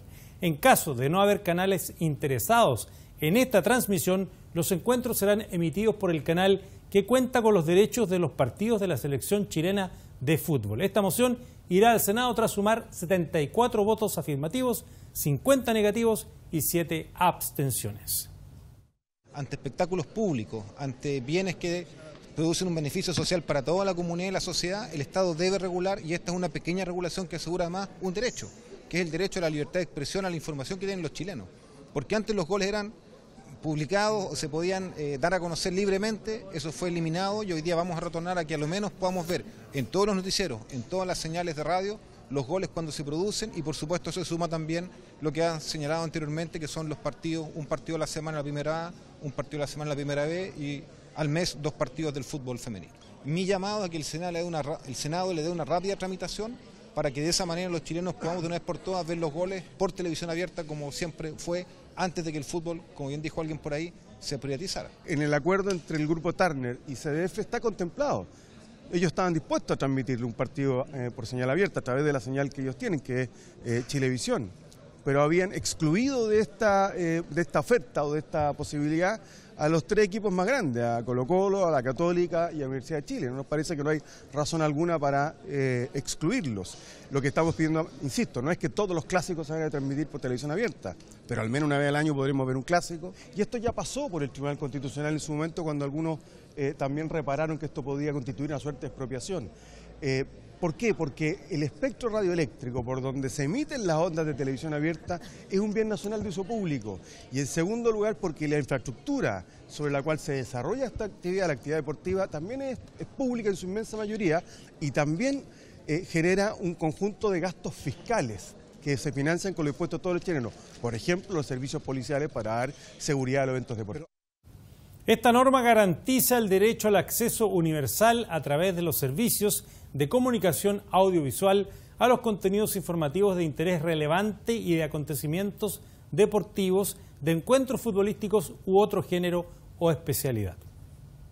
Este no es un bien público, este es un bien que efectivamente eh, la gente del fútbol, eh, las empresas que están detrás han hecho una inversión importante y que al mismo tiempo, eh, si hoy día estimamos realmente llevar adelante una ley como esta. Lo que estamos haciendo, por un lado, es quitarle la posibilidad a empresas privadas que desarrollen distintas actividades. ¿Por qué no vamos a transmitir eh, en forma eh, pública muchas otras cosas que también son atractivas y que le vamos a quitar el derecho a, los privados de sus imágenes, etcétera. Hoy día está a disposición de todas las personas a través de Facebook, de las redes sociales y también al otro día todas las imágenes. Esto no hay tampoco restricción eh, y el bien público es hasta por ahí nomás, como digo, respecto al fútbol. Así que nosotros opinamos que es eh, una expropiación encubierta. Una situación así es bastante, diría yo, retrógrada, no va con los tiempos y al mismo tiempo tenemos una buena noticia porque, bueno, las licitaciones que hoy día están a,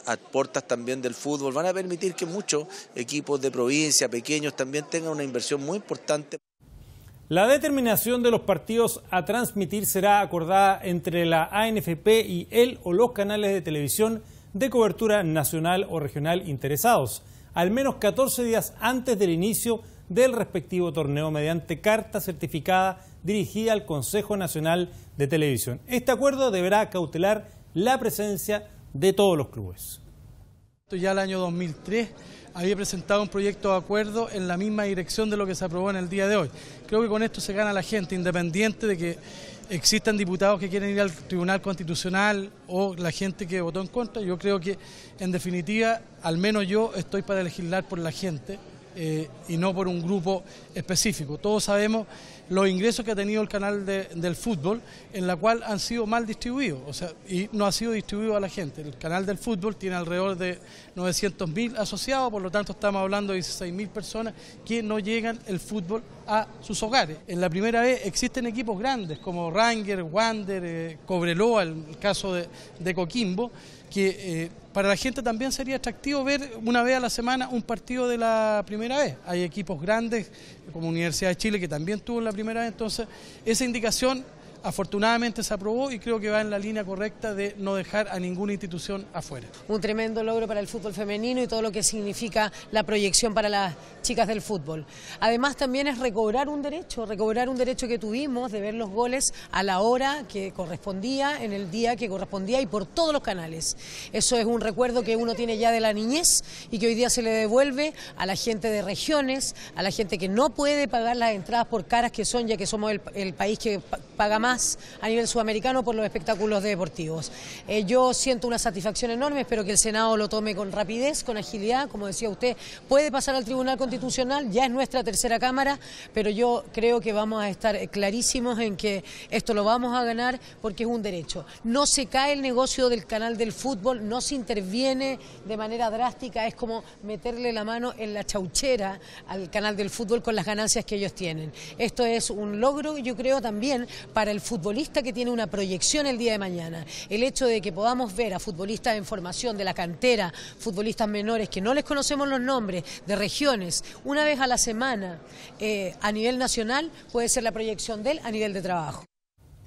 Falta un fondo especial y obras financiadas que no estaban contempladas en el plan de reconstrucción definido para las regiones de Antofagasta y Atacama por efecto de los aluviones del año 2015 son algunas de las conclusiones del informe de la comisión investigadora que se abocó a analizar este tema y que fue aprobado por la sala de la Cámara por 130 votos a favor y una abstención. Hoy día vemos con este informe que obviamente llegaron los 500 millones de dólares, se depositaron en las arcas fiscales, el 2015 se pudo hacer el seguimiento, decir que estaba depositado en una cuenta en Estados Unidos, pero eh, dentro de lo que son las arcas fiscales. Pero en definitiva, luego de ese periodo, tú no le puedes hacer el seguimiento dólar por dólar o saber realmente qué se invirtió en Atacama. Y también se logró descubrir, lamentablemente, que todo lo que se ha invertido en la región dentro del plan de reconstrucción de estas 86 propuestas ha sido a través de reasignaciones. No hemos tenido un aumento sustancial ni en el FNDR ni en los sectoriales por sobre 500 millones de dólares. Dentro de este mismo plan de reconstrucción hemos encontrado obras que no corresponden a la reconstrucción.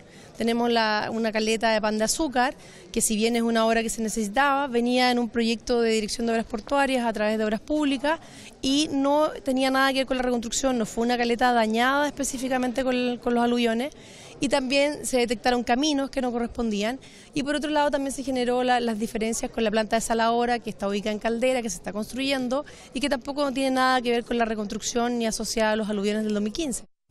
En cuanto a la región de Antofagasta, el informe observa que no se constituyó un plan específico de reconstrucción, ya que como los daños estaban focalizados, se enfrentaron de manera sectorial, levantando iniciativas específicas en las comunas de Antofagasta y Taltal, por un poco más de 10 mil millones de pesos. De lo informado por la Subsecretaría de Desarrollo Regional y Administrativo, se habrían financiado y ejecutado 10 iniciativas consideradas para la reconstrucción de esta comuna tras los aluviones de 2015. Una vez producido el aluvión en el año 2015 se anunciaron 500 millones de dólares para la reconstrucción. Y estos 500 millones de dólares, ¿dónde se iban a sacar? De la ley reservada al cobre. Se aprueba una ley en el Congreso, pero lamentablemente la ley que se aprobó, en la cual autorizaba el traslado de 500 millones de dólares hacia la reconstrucción de Atacama, al final del día no quedó expresamente establecido que iban para la reconstrucción. ¿Y eso qué significó? Que estos 500 millones de dólares se fueron al presupuesto de la nación. Entonces, al final, la reconstrucción se financió con reaccionaciones presupuestarias, se gastaron los recursos en otras cosas y por ende, hoy día todavía no hemos terminado de reconstruir eh, los terribles acontecimientos que ocurrieron en el año 2015. Creo yo que la responsabilidad es del Ejecutivo, porque el Ejecutivo anuncia que se van a destinar 500 millones de dólares expresamente para la reconstrucción pero al momento de tramitar la ley, entre comillas, la letra chica, no lo dejó establecido. Y por ende, tuvimos que financiar la reconstrucción con reasignaciones presupuestarias. Y es por eso que hoy día no hemos logrado terminar la reconstrucción, porque no están los recursos. Y junto con pasar a la hora de incidentes, les contamos que en materia de resoluciones se aprobó pedir una planta de revisión técnica a la comuna de Purranque, expresar el rechazo y preocupación formal de Chile por los crímenes de lesa humanidad ocurridos en Nigeria, dar cumplimiento a las obligaciones legales en materia de accesibilidad universal al entorno físico, pasarelas, transporte público e inmuebles de uso público y crear una política y una red nacional de tratamiento de rehabilitación del consumo problemático de drogas. Entrando en el tiempo de incidentes, corresponde el uso de la palabra hasta por un minuto 56 segundos al Comité de la Federación Regionalista Verde Social e Independiente. Va a hacer uso de la palabra la diputada Sepúlveda, que está al lado vuestro. Diputada Sepúlveda, para que Muchas gracias, haga uso de su tiempo. Le, digo a los diputados que voy a hablar, entonces ellos están con, un proyecto de ley además que es bien importante. Presidente, em, en, eh, en esta semana, ¿no si bien no ha sido semana distrital, uno está permanentemente en, eh, contacto con, la ciudadanía, fundamentalmente en atención de público, y se acercó una, una señora, ¿no es cierto?, una mamá de la comuna de, San Fernando, que tiene una hija, eh, Amelia Libertad Nilo Abaca, presidente del cual tengo todos los antecedentes médicos acá, y ella tiene una enfermedad, eh, que tiene una enfermedad muy compleja y que necesita urgente, ¿no es cierto?, un neuro cirujano y la verdad es que no ha tenido la respuesta necesaria de parte del Servicio de Salud, fundamentalmente del Hospital de, Rancagua. Es por eso que lo primero es enviar un oficio al Ministerio de, Salud, pero fundamentalmente también al, al director de Servicio de Salud O'Higgins para la atención lo antes posible de esta menor que tiene una enfermedad muy compleja, cavernomatosis múltiple, y que lamentablemente aún no recibe la atención que corresponde. Lo segundo, presidente, al Ministerio de Salud, al Ministerio de Vivienda, por la posibilidad de hacer una asignación directa a un adulto mayor en la comuna de San Vicente, que aquí tengo todos los papeles, que ha postulado seis veces al subsidio, seis veces, presidente, de un sector rural, el sector de eh, San José de Patagua, en donde además tiene un certificado de inhabitabilidad, en donde a partir del terremoto, pero con complicaciones posteriores, vive en condiciones que no corresponde a un ser humano, ¿no es cierto?, en, este siglo y da más las posibilidades de que pueda postular al subsidio.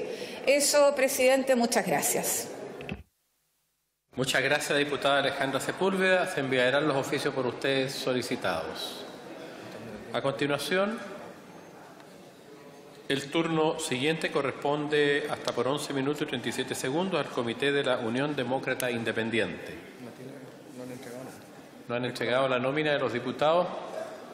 Por aquí está. ¿Usted, diputado? ¿Parte usted? Sí, Javier Hernández. Javier Hernández tiene la palabra, diputado. Muchas gracias, presidente. También está inscrito Gustavo Sangüesa y Sandra Mat. Por cinco minutos voy a hablar. Eh, quiero hacer llamar la atención y enviar un oficio al Ministerio de Obras Públicas en el siguiente sentido. La ruta 215 que une Osorno con el paso Cardenal del Zamoré en la comuna de Puyehue está hoy día en reparación y se iniciaron las obras para su recarpeteo en alrededor de 23 kilómetros. Esa es la zona que tiene más complejidades, más problemas. Ha tenido una cantidad de hoyos importantes y por lo cual se aceleró eh, la reposición de esta carpeta asfáltica. Durante las semanas pasadas, dos accidentes se registraron entre el viernes pasado y el lunes, eh, mientras se encuentran en ejecución estas obras. Entonces, el llamado de atención al Ministerio de Obras Públicas es que durante la reposición de esta carpeta tenga una mantención de emergencia en forma permanente. Si bien es cierto, se van parchando lo- los hoyos, en definitiva lo que ocurre cada frente a cualquier lluvia que se provoque en la región, y ustedes comprenderán la intensidad que esto se genera, se provocan y se reabren nuevamente estos hoyos provocando estos accidentes. Por lo tanto, le pido al señor ministro de Obras Públicas especial preocupación para que efectivamente tenga una mirada especial en ese sentido. También quisiera eh, enviar un oficio al Ministerio de Economía y a la subsecretaria de Turismo. Durante el día de hoy, eh, con satisfacción, vemos cómo las comunas de Puyehue y Puerto Octay esperan ser ratificados como zonas de interés turístico. De ser así, serán las primeras de la provincia de Osorno en incluirse en esta declaratoria que encabeza la cartera de Economía, Fomento y Turismo. De las 32 zonas de interés turísticos en nuestro país, 21 de ellas poseen delimitación de su territorio, junto a un plan de acción que han concretado tras el trabajo de una mesa público-privada. En este marco, Puyehue está trabajando mancomunadamente con la comuna de Río Bueno para lograr la primera SOIT birregional, lagos y volcanes. Y por otro lado, Puerto Octay se está asociando con las comunas de Yanquihue, Puerto Vara, Frutillar para obtener la SOIT Lago Yanquihue. Por lo tanto, quiero llamar la atención especialmente al ministro de Economía y a la subsecretaria de Turismo que le ponga especial interés a esta región y a esta parte de la región en el sentido de incorporarlas rápidamente a este programa de desarrollo. Hay comunas que están trabajando en esto desde el año 2012. Sin embargo, existe la volun- voluntad de realizar un proceso formal que se espera termine el año 2019 o principios de 2020. También quiero llamar la atención que existen otros territorios que perfectamente pueden aprovechar sus bondades naturales, bosques, humedales, casas patrimoniales en esta parte del país y que existen otros factores que permiten generar valor agregado en un ámbito cultural, por lo que es necesario no solamente el impulso inicial que refuerce las intenciones del fomento turístico, sino que la propia comunidad llegue a un nivel de empatía, compromiso e identidad que le haga protagonistas de la protección de sus zonas. Cada vez más el turismo será el sector que se consolide como la principal fuente de ingresos para las comunas de la zona sur austral de Chile y por lo tanto buena parte del foco debe estar en el mejoramiento de vías de alto tráfico y caminos alternativos. Los accesos son demasiado vitales cuando se trata de la aspiración de fomento turístico desde sus niveles más iniciales. Es por lo que, por lo anterior, también le solicito a la Subsecretaría de Turismo considerar a la comuna de San Juan de la Costa para su rápida incorporación en el trabajo conducente a ser declarada una zona de interés turístico, tomando en cuenta su privilegiada ubicación en las zonas costeras de la provincia de Osorno y su acento tradicional mapuche huilliche, por lo que de costumbres ancestrales, productos artesanales, comida típica y medicina alternativa, además de rutas locales, como de sumo valor para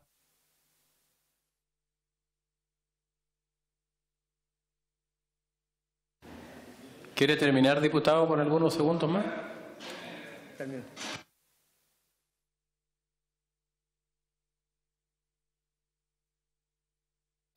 Diputado Sangüesa, en el tiempo de la UDI, tiene la palabra. Gracias, presidente. La nueva región de Ñuble presenta altos índices de ruralidad y pobreza, lo que sumado a la precariedad de nuestros caminos y vías de acceso son factores que dificultan el desarrollo económico y social de nuestras comunidades. Es insostenible que un 17% de los caminos rurales de Ñuble se encuentren sin pavimentar, realidad que afecta a la calidad de vida de miles de familias. Ni hablar del déficit global en conectividad que presenta la región de Ñuble por la postergación histórica que hemos sufrido por tanto tiempo. A fines del año 2016, el gobierno anterior se comprometió a reinstalar en diversos sectores de Ñuble las partes del gran puente mecano que fue instalado tras el terremoto del 27 de febrero del 2010 sobre el río Biobío en Concepción, para lo cual se definió un, un cronograma de instalación para los años 2017, 2018 y 2019. El plan consideraba una extensión de 21,3 metros en la comuna de Quillón para el año 2017, 72 metros en las comunas del Carmen, Ñiquén y Rankel para el año 2018 y 308 metros en las comunas de Ningüe, Ñiquén y Quillón para el año 2019. Cumplidas las dos terceras partes del tiempo contemplado en el cronograma inicial, es decir, los años 2017 y 2018, el avance es muy modesto y en algunos casos, como en las comunas que recibirían una extensión mayor de la estructura original, ni siquiera se han realizado los diseños de ingeniería. Dentro de este grupo están los casos del puente que beneficiará a la comunidad de Cerro Negro en Quillón y el sector de Perquilauquén en Ñiquén. El déficit de puentes en Ñuble está asociado a serios problemas económicos y sociales, como el deterioro de la calidad de vida de las comunidades rurales, especialmente de niños y adultos mayores, a dificultades en el transporte de productos agrícolas en una zona que es intensiva en esta actividad productiva y serias consecuencias en la seguridad de las personas, aumentando el riesgo de accidentes. De esta manera, solicito un pronunciamiento del Ministerio de Obras Públicas sobre lo siguiente. Primero, ¿cuál es el cronograma de definitivo por comuna para la instalación de todas las partes del puente mecano? Y segundo, señor presidente, ¿Cuál es el plan o las prioridades del Ministerio en cuanto al diseño y ejecución de nuevos puentes que reemplacen a, las actuales estructuras de madera que están presentes en todos los sectores rurales de la región de Ñuble, que sean proyectos complementarios a la instalación del puente mecano citado anteriormente? Gracias, señor presidente. Muchas gracias, señor diputado. En el tiempo de la UDI hay tiempo todavía. La diputada Sandra Amar. Gracias, presidente. En primer lugar, quiero manifestar mi profunda preocupación por el paro de camioneros que está desarrollándose en estos momentos en mi región de Magallanes. Desde las 2 de la madrugada de este lunes 22 de octubre, el gremio transportistas magallánicos se ha tomado diversas rutas en las provincias de Magallanes y Tierra del Fuego, generando así gran preocupación en los ciudadanos de la región. Hasta este minuto se carece una solución para este conflicto que se ha ido agudizando con el paro de las horas, que ya involucra a otros sectores económicos y que producto del desabastecimiento de combustible y alimentos en supermercados está afectando a la población. Según plantea la Asociación de Dueños de Camiones, ASODUCAM, esto es producto de discusiones que se han venido realizando por años respecto a la difícil situación que los afecta como pequeños empresarios del transporte de carga. Entre los temas que plantea el gremio acusan que existen diferentes beneficios e incentivos tributarios que privilegian a las industrias y el comercio que se ha ido instalando poco a poco en Magallanes. Dicho beneficio está destinado a las grandes cadenas nacionales, situación por la cual el costo de los servicios es menor que el local. Y según señala Soducam, con esto se imposibilita el crecimiento del sector en Magallanes a través de una competencia injusta. El Estado bonifica empresas e industrias del norte, como decimos nosotros, pero en esto se excluye a los camioneros de la región, generando que el flete se transforme en un servicio abusivo, puesto que ni siquiera les alcanza para cubrir los diversos gastos los que se ve incurrir tras un recorrido de casi 3.000 kilómetros y más. Costos que involucran cruces por mar si estos camiones vienen desde Tierra del Fuego, además del carísimo combustible que en Magallanes alcanza su precio más alto en todo Chile. El impuesto agregado a los combustibles, ejecutado desde 1985, es uno de los grandes problemas, ya que Magallanes, por ser zona extrema, tiene un impuesto adicional. ¿Por qué no mejor se cobra este impuesto a las navieras, a las mineras, a las grandes constructoras? Si todas las empresas pagaran ese impuesto específico, el valor de los combustibles sería significativamente menor para el ciudadano de a pie, que necesita combustible para trasladar el pan que hace un pequeño negocio, por ejemplo.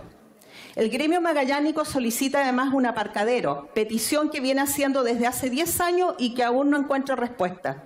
De existir este, los transportistas podrían tener la tranquilidad de estacionar sus camiones en lugares seguros, no solo para la carga que transportan, sino que también para el vehículo y para ellos mismos.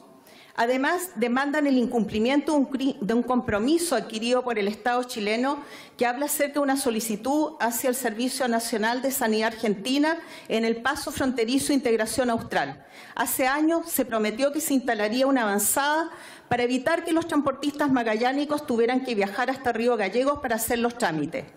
Presidente, solicito por su intermedio que se revise cada uno de los puntos señalados, ya que estas son demandas legítimas de los transportistas de la región de Magallanes y este conflicto requiere voluntad para ser destrabado con premura.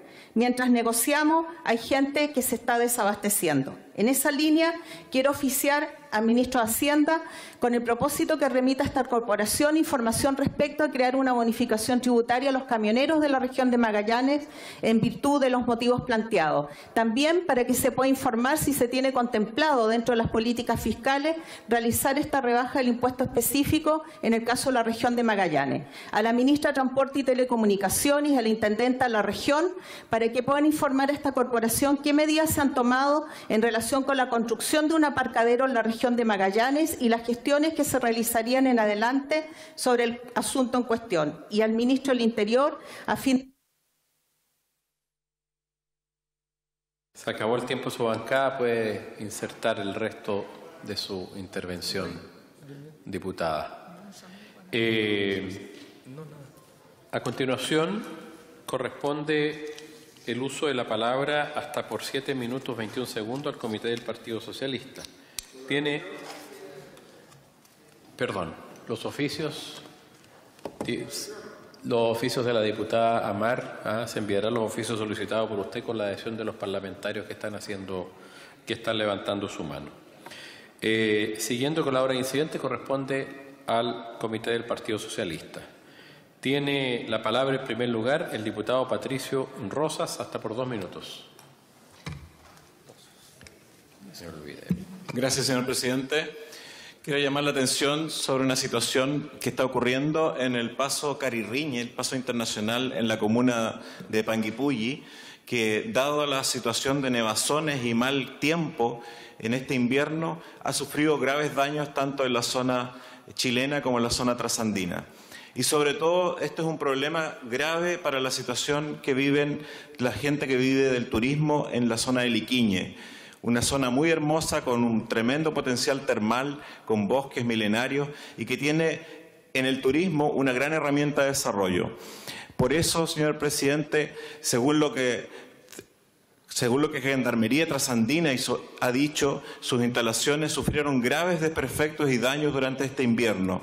Y por eso los vecinos de Liquiñe están muy preocupados porque esta problemática en otros años ha generado que se cierre este paso. Dado esta situación, señor presidente, solicito se oficie a la Cancillería de nuestro país para que se inicie un diálogo bilateral que vaya a solucionar este problema lo antes posible, ojalá antes que se inicie la temporada estival, que para estos efectos va a ser del 15 de noviembre en adelante. He dicho, señor presidente. Muchas gracias, señor diputado. Se enviarán los oficios por usted solicitados. A continuación tiene el uso de la palabra el diputado señor Fidel Espinosa hasta por dos minutos. Dos minutos y 36 segundos. Muchas gracias, estimado presidente. Quisiera enviar un oficio en particular a la señora ministra de Transporte, ministra, la ministra Gloria Hot. ¿En qué sentido, señor presidente? La, la verdad que hemos tenido un gabinete en la región de los lagos que ha dejado bastante que desear el gabinete del intendente Harry Jürgensen, pero ha habido uno en particular, el Ceremi de Transporte, el señor Nicolás Cepe, que ha dado la nota relevante, entre comillas, con, sus dichos, con sus actuaciones. Hace un par de, semanas atrás se negó a ir a visitar la isla de Chiloé, en particular la comuna de Quinchao, porque no tenía, según él, recursos para viáticos. Y invitó a los seis concejales de la comuna de Quinchao para que viajaran a Puerto Montt, más de tres horas de viaje para que lo vayan a ver a él a su oficina es el compromiso eh, del gobierno de los tiempos mejores. Pero así como ese tipo de situaciones, incluso anecdóticas, eh, lamentables pero anecdóticas, al fin y al cabo, hemos tenido dos situaciones que nos parecen graves que han ocurrido en los últimos días. Por eso quiero oficiar a la señora ministra de Transporte para que se, revierta esta situación. Primero, que haya respuesta para la gente de la isla Mayen en Puerto Montt. Ellos están pidiendo mejor conectividad, un muelle para su gente. Durante largo tiempo han habido retraso, ha habido suspensiones en la resolución. El intendente Harry Jürgensen se comprometió a darle una respuesta a la gente dentro de un plazo de 15 días. No ha habido respuesta, le están aplazando las soluciones para eh, el año 2019 y la gente de la isla Mayen necesita soluciones concretas ahora y que sean efectivas. Este gobierno le prometió a ellos soluciones a este tipo de problemas en la campaña, pero simplemente hoy día acusan eh, ajustes presupuestarios. Eh, que han significado obviamente un deterioro para la gente. Lo de la semana pasada en, las islas de Quinchao. Hay nueve islas, 4.200 personas que se ven afectadas porque a pesar de que se había levantado la licitación para el subsidio de transporte marítimo de carga en Quinchao, la están echando abajo. Y el Ceremi de Transporte tiene el, descaro de decir que es culpa del gobierno anterior, por favor. Esto es responsabilidad exclusiva de este gobierno. Las islas Lilín, Meulina, Piao, Quenac, Xinguá, Chaulinec, Alao, Teuquelín y Caguach requieren soluciones concretas hoy día para sus problemas. El propio alcalde, que es de derecha, que es de gobierno, salió diciendo que era un irresponsable el CRM de transporte. Me sumo a esas palabras. Ha habido irresponsabilidad, descriterio. Y sobre todas las cosas, señor presidente, aquí se afecta a la gente más humilde, a la gente que más lo necesita. He dicho, señor presidente, y mi oficio a la señora ministra de Transporte. Muchas gracias, diputado Espinosa. Se enviarán los oficios por usted solicitados. Con la adhesión de los parlamentarios que levantan la mano. A continuación, vamos a hacer un saludo protocolar. Se encuentra en la tribuna de honor de esta Cámara de Diputados en esta hora de incidentes el excelentísimo señor embajador de Suecia en Chile, señor Oscar Stenström, recientemente nombrado ha sido invitado por el presidente del Grupo Interparlamentario Chile-Suecia, el señor diputado Tucapel Jiménez Fuentes, para compartir con el grupo parlamentario. Un cordial saludo y bienvenido a la Cámara de Diputados al señor embajador.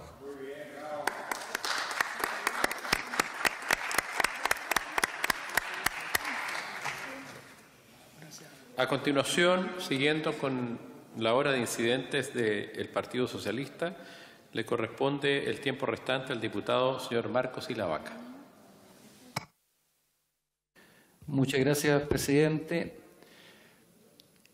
En Valdivia tenemos una localidad costera hermosa que, que queda muy cerca de la comuna. Y en particular en el sector de niebla, día a día nosotros vivimos una serie de problemas graves, presidente, en orden a seguridad vial. Hace muchos años los vecinos de Niebla esperan que se pavimente definitivamente la calle del Castillo del sector de Niebla. Pero durante estos mismos años las autoridades, las diferentes autoridades han señalado que mientras no se lleve adelante el proyecto del alcantarillado va a ser imposible llegar a pavimentar esta calle. Pero hay un sector en particular, que es la unión de la calle del Castillo con Carlos Duche y Lord Cochrane, que es un peligro público. Día a día allí ocurren accidentes graves que afectan a vecinos del sector. No existe seguridad para los peatones para el cruce, no existe seguridad para los vehículos. Por lo tanto, solicito, señor presidente, que se pueda oficiar a Vialidad y a la Municipalidad de Valdivia en orden a que en conjunto puedan establecer medidas de mitigación respecto al tema de velocidad, respecto al tema de mejorar la calidad y la señalización de dicho cruce. Porque allí se carece de visibilidad, se carece de señalética, ¿ya? Que y el paso peatonal que antiguamente existía fue eliminado. Por lo tanto, solicito que eh, tanto la Dirección Nacional de Vialidad como la Municipalidad de Valdivia puedan establecer e informar a esta Cámara las medidas que se puedan implementar respecto al mejoramiento de dicho sector. Dicho oficio que vaya con copia a la Unión Comunal de Junta de Vecinos de Valdivia y a la Junta de Vecinos número uno de Niebla. Asimismo, y también en la localidad de Niebla, señor presidente, eh, quiero solicitarse oficial a la Municipalidad de Valdivia con el objeto de que eh, se le solicite la instalación de luminarias para el tramo ubicado entre el cruce de Carlos Duche y Avenida Lord Cochrane, debido al alto tránsito que se efectúa en el sector y en particular también las luminarias que van hacia el sector de, en el sector de la población Bellavista camino cementerio. Los vecinos suben a pie día a día con los bolsos del supermercado para poder llegar a sus casas. Y en invierno oscuro claramente es un peligro público, razón por la cual solicito sea oficial la Municipalidad de Valdía con el objeto de que procedan a establecer las luminarias y restablecer las luminarias en dicho sector. Por último, señor presidente, solicito un oficio a el Servio de la región de los ríos y a la Municipalidad de Panguipulli con el objeto de que pueda informar esta corporación el estado de la pavimentación de la calle O'Higgins de, de Melezquén de la comuna de Panguipulli. He dicho, presidente. Muchas gracias, señor eh, diputado. Se enviarán los oficios por usted solicitado. Siguiendo, eh, eh, le correspondería el turno al Comité de Revolución Democrática, que aún no hay nadie en la sala. A continuación, nadie de su partido en la sala. A continuación, corresponde el uso de la palabra hasta por tres minutos 29 segundos al Comité Comunista PRO. Tiene la palabra la diputada Camila Vallejos. Diputada Camila Vallejos. Gracias, presidente. Bueno, como parte del trabajo distrital me tocó em, tener una reunión con las representantes de la comunidad de San José de Maipo, distintas organizaciones medioambientales eh, de la comuna de San José de Maipo, y me han consultado sobre las acciones de fiscalización realizadas por la Superintendencia del Medio Ambiente referidas al cumplimiento de la normativa ambiental y en particular de la resolución de calificación ambiental del proyecto eh, Alto Maipo. Específicamente lo que solicita la comunidad de San José de Maipo es un seguimiento eh, de la fiscalización que ha hecho la superintendencia a partir de una resolución exenta resoluciones exenta número 528 del 10 de abril del 2018 de la Dirección General de Aguas, donde se afirma que en esta resolución, abro comillas, es muy importante advertir a la Superintendencia de Medio Ambiente que las aguas floradas del túnel del sector L1, el cual a la fecha del 4 de enero del 2018 tenía un desarrollo de 2,1 kilómetros, estaban siendo descargadas a razón de más de 26 litros por segundo, con caudales que superan los 70 litros por segundo, según informó la propia empresa Alto Maipo, lo cual supera de manera importante la recarga natural del sector hidrogeológico denominado estero El Manzano, caracterizado en el mismo informe número 300 del 2015, de manera que la Superintendencia del Medio Ambiente deberá tener en vista dichos antecedentes para proceder con las mitigaciones, control, fiscalizaciones y demás acciones que dicha entidad considere ordenar para no perjudicar los derechos de aprovechamiento de agua u otros impactos ambientales. Por lo mismo, presidente, eh, y en atención a esa resolución exenta de la Dirección General de Agua, lo que solicita a la comunidad y que lo hago formalmente a través de este medio es que eh, se informe de las medidas que se hayan adoptado o se vayan a adoptar por su parte y de la ejecución de las mismas. Y cuando corresponda, además, se ha informado el resultado de dichas acciones de fiscalización que se enmarcan en las atribuciones que le confiere la ley a la Superintendencia de Medio Ambiente, presidente de este Congreso Nacional, y también a la Comisión de Medio Ambiente de la Cámara de Diputados, presidente. He dicho. Gracias, diputada Camila Vallejo. Se enviarán los oficios por usted solicitado. Con la adhesión del diputado Hugo Gutiérrez. A continuación, en el tiempo cedido por Revolución Democrática eh, al diputado Jaime Mulet, le ofrecemos la palabra al señor vicepresidente por cuatro minutos 38 segundos. Tiene la palabra el diputado Mulet. Muchas gracias, señor presidente. Quiero partir agradeciendo a la bancada de Revolución Democrática por haberme cedido su tiempo en incidentes. Eh, y quería justamente hacer uso de la palabra, señor presidente, porque quería señalar que hace algunos días atrás asistí el día 20, recién pasado, 20 de octubre, al aniversario de la comuna de Freirina una comuna con vocación agrícola, minera y turística que está en nuestra querida región de Atacama y que tiene una gran historia. Es una comuna, una de las primeras comunas, de las primeras ciudades, villas fundadas en nuestro país. Se fundó el 20 de octubre del año 1752 como Santa Rosa del Huasco. Posteriormente eh, fue llamada Freirina cuando se le otorgó el título de villa por el insigne director supremo primer regionalista para nosotros los regionalistas, Ramón Freire. Ah, posteriormente fue elevada a la categoría de municipio, posteriormente también a departamento en 1870 y 1876 respectivamente. Eh, tuvimos la oportunidad de asistir algunos de los parlamentarios que representamos a Freirina de la región de Atacama a, la actividad de aniversario quiero partir en primer lugar eh, dándole gracias eh, al, municipio, al señor alcalde y al Consejo Municipal por, por habernos invitado y por participar además de una eh, fiesta eh, muy hermosa, digamos, con una serie de alegorías y recuerdos que se hicieron, entre otros también las distinciones a personas destacadas en la comuna. Agradecer al alcalde y al Consejo Municipal también por un presente que nos hicieron los parlamentarios asistentes, consistentes en una foto muy hermosa de uno de sus monumentos nacionales, eh, esta comuna, como pocas en la región de Atacama, eh, concentra una eh, calidad patrimonial muy excepcional. Tiene tres monumentos nacionales que son muy, muy relevantes y dos de ellos se han restaurado y fueron reinaugurados hace poco.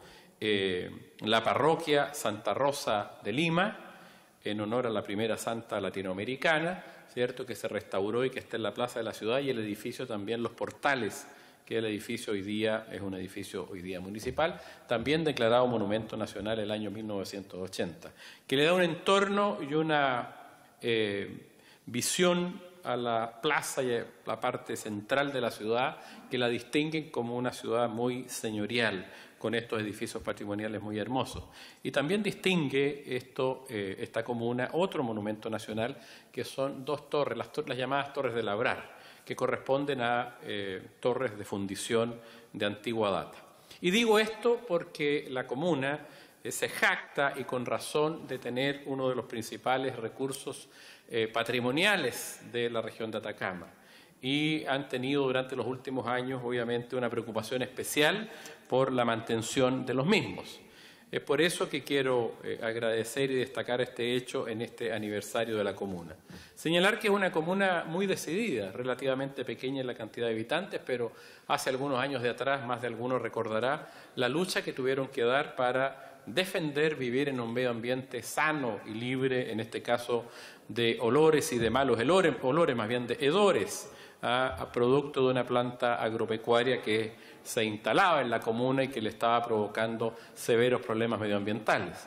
Y fue la comuna y el pueblo de Freirina el que se alzó en contra de esa situación tan desagradable que le estaba afectando en su vida diaria. Y esos liderazgos hoy día están gobernando la comuna partiendo por el actual alcalde, don César Orellana, que hay que reconocer que impusieron, y con razón, una determinada visión producto de una situación obviamente grave que afectaba a la ciudadanía.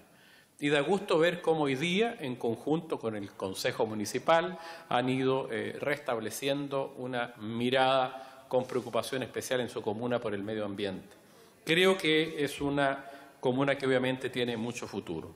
Es por eso, señor presidente, que he querido agradecer hoy día, especialmente en esta actividad de aniversario. Y por último, señalar, señor presidente, que la vocación agrícola que tiene esta comuna es sin duda parte importante del desarrollo que hoy día se está haciendo, particularmente la fabricación de aceite de oliva de distintas marcas que ya se han eh, instalado y que han eh, generado a través de pequeños empresarios agrícolas eh, prestigio de este importante elemento, la minería, el turismo, etcétera. Señor presidente, solicito que una copia de esta intervención se remita al señor alcalde, don César Orellana, de la distinguida comuna de Freirina. He dicho. Gracias, diputado Jaime Mulet. Se enviará, por tanto, su intervención eh, al alcalde de la comuna de Freirina con la adhesión de los parlamentarios que estamos levantando la mano. Y a continuación, en el tiempo de Evópoli, unánime. Y a continuación, en el tiempo de Evópoli, hasta por dos minutos 19, tiene la palabra el diputado Pablo Cast. Tiene la palabra, diputado. Muchas gracias, señor presidente. Muy breve, quería referirme a una situación y a un contexto de cómo se ha ido desempeñando las presentaciones, la participación de las empresas que se encuentran en el Parque Industrial de Quintero Puchuncaví, en donde ayer tuvimos la triste, esa es la palabra triste, em, respuesta o disposición a entregar los antecedentes necesarios para poder avanzar en una solución por parte de eh, la empresa Codelco, que, cuyos representantes, eh, don Jorge Sangüesa, como gerente general, eh, participó en la comisión investigadora sin la información suficiente y sin la posibilidad de responder a muchas inquietudes que venían de la comunidad misma y específicamente eh, respecto a cómo se compone la participación de la pequeña, la mediana y la gran empresa dentro de los procesos que ellos realizan en su fundición. Y tampoco fuimos, fueron capaces de responder eh, con certeza respecto a la participación o la emanación dentro de sus procesos de gases y químicos tan complejos como el arsénico, el cadmio y el mercurio. Eh, no pudieron responder respecto a la composición de sus gases al emitir, al procesar eh, en la fundición eh, la presencia de estos metales. y por lo tanto quería hacer llegar este oficio para ver si es que a partir por lo menos de una, una revisión exhaustiva son capaces de entregar esta información tan necesaria para poder sacar conclusiones por un lado eh, en esta comisión investigadora que, dirigimos transversalmente por distintos parlamentarios del distrito y de la región y, también ver cómo, si es posible, también encontrar soluciones a partir de lo que ellos propongan. Así que eh, quería dejar constancia de este ingreso de estos oficios haciendo estas consultas precisas, ya que ayer en la comisión investigadora no fueron capaces de responder a ciencia cierta. Eso nomás. Muchas gracias, presidente. Gracias, diputado Pablo Cast. enviarán todos los oficios por usted solicitados. Bienvenidos jóvenes a la Cámara de Diputados. También aprovechamos de saludar. Bienvenido aquí a una de las ramas del Congreso Nacional. Y por haberse cumplido el objeto de esta sesión, esta se levanta. Y al finalizar este recuento sobre el trabajo en sala del martes 23 de octubre, el diputado Pablo Cast pidió información sobre la participación de la pequeña, mediana y gran empresa en los procesos de fundición de Codelco División Ventanas y respecto de la composición de gases contaminantes peligrosos en sus procesos industriales.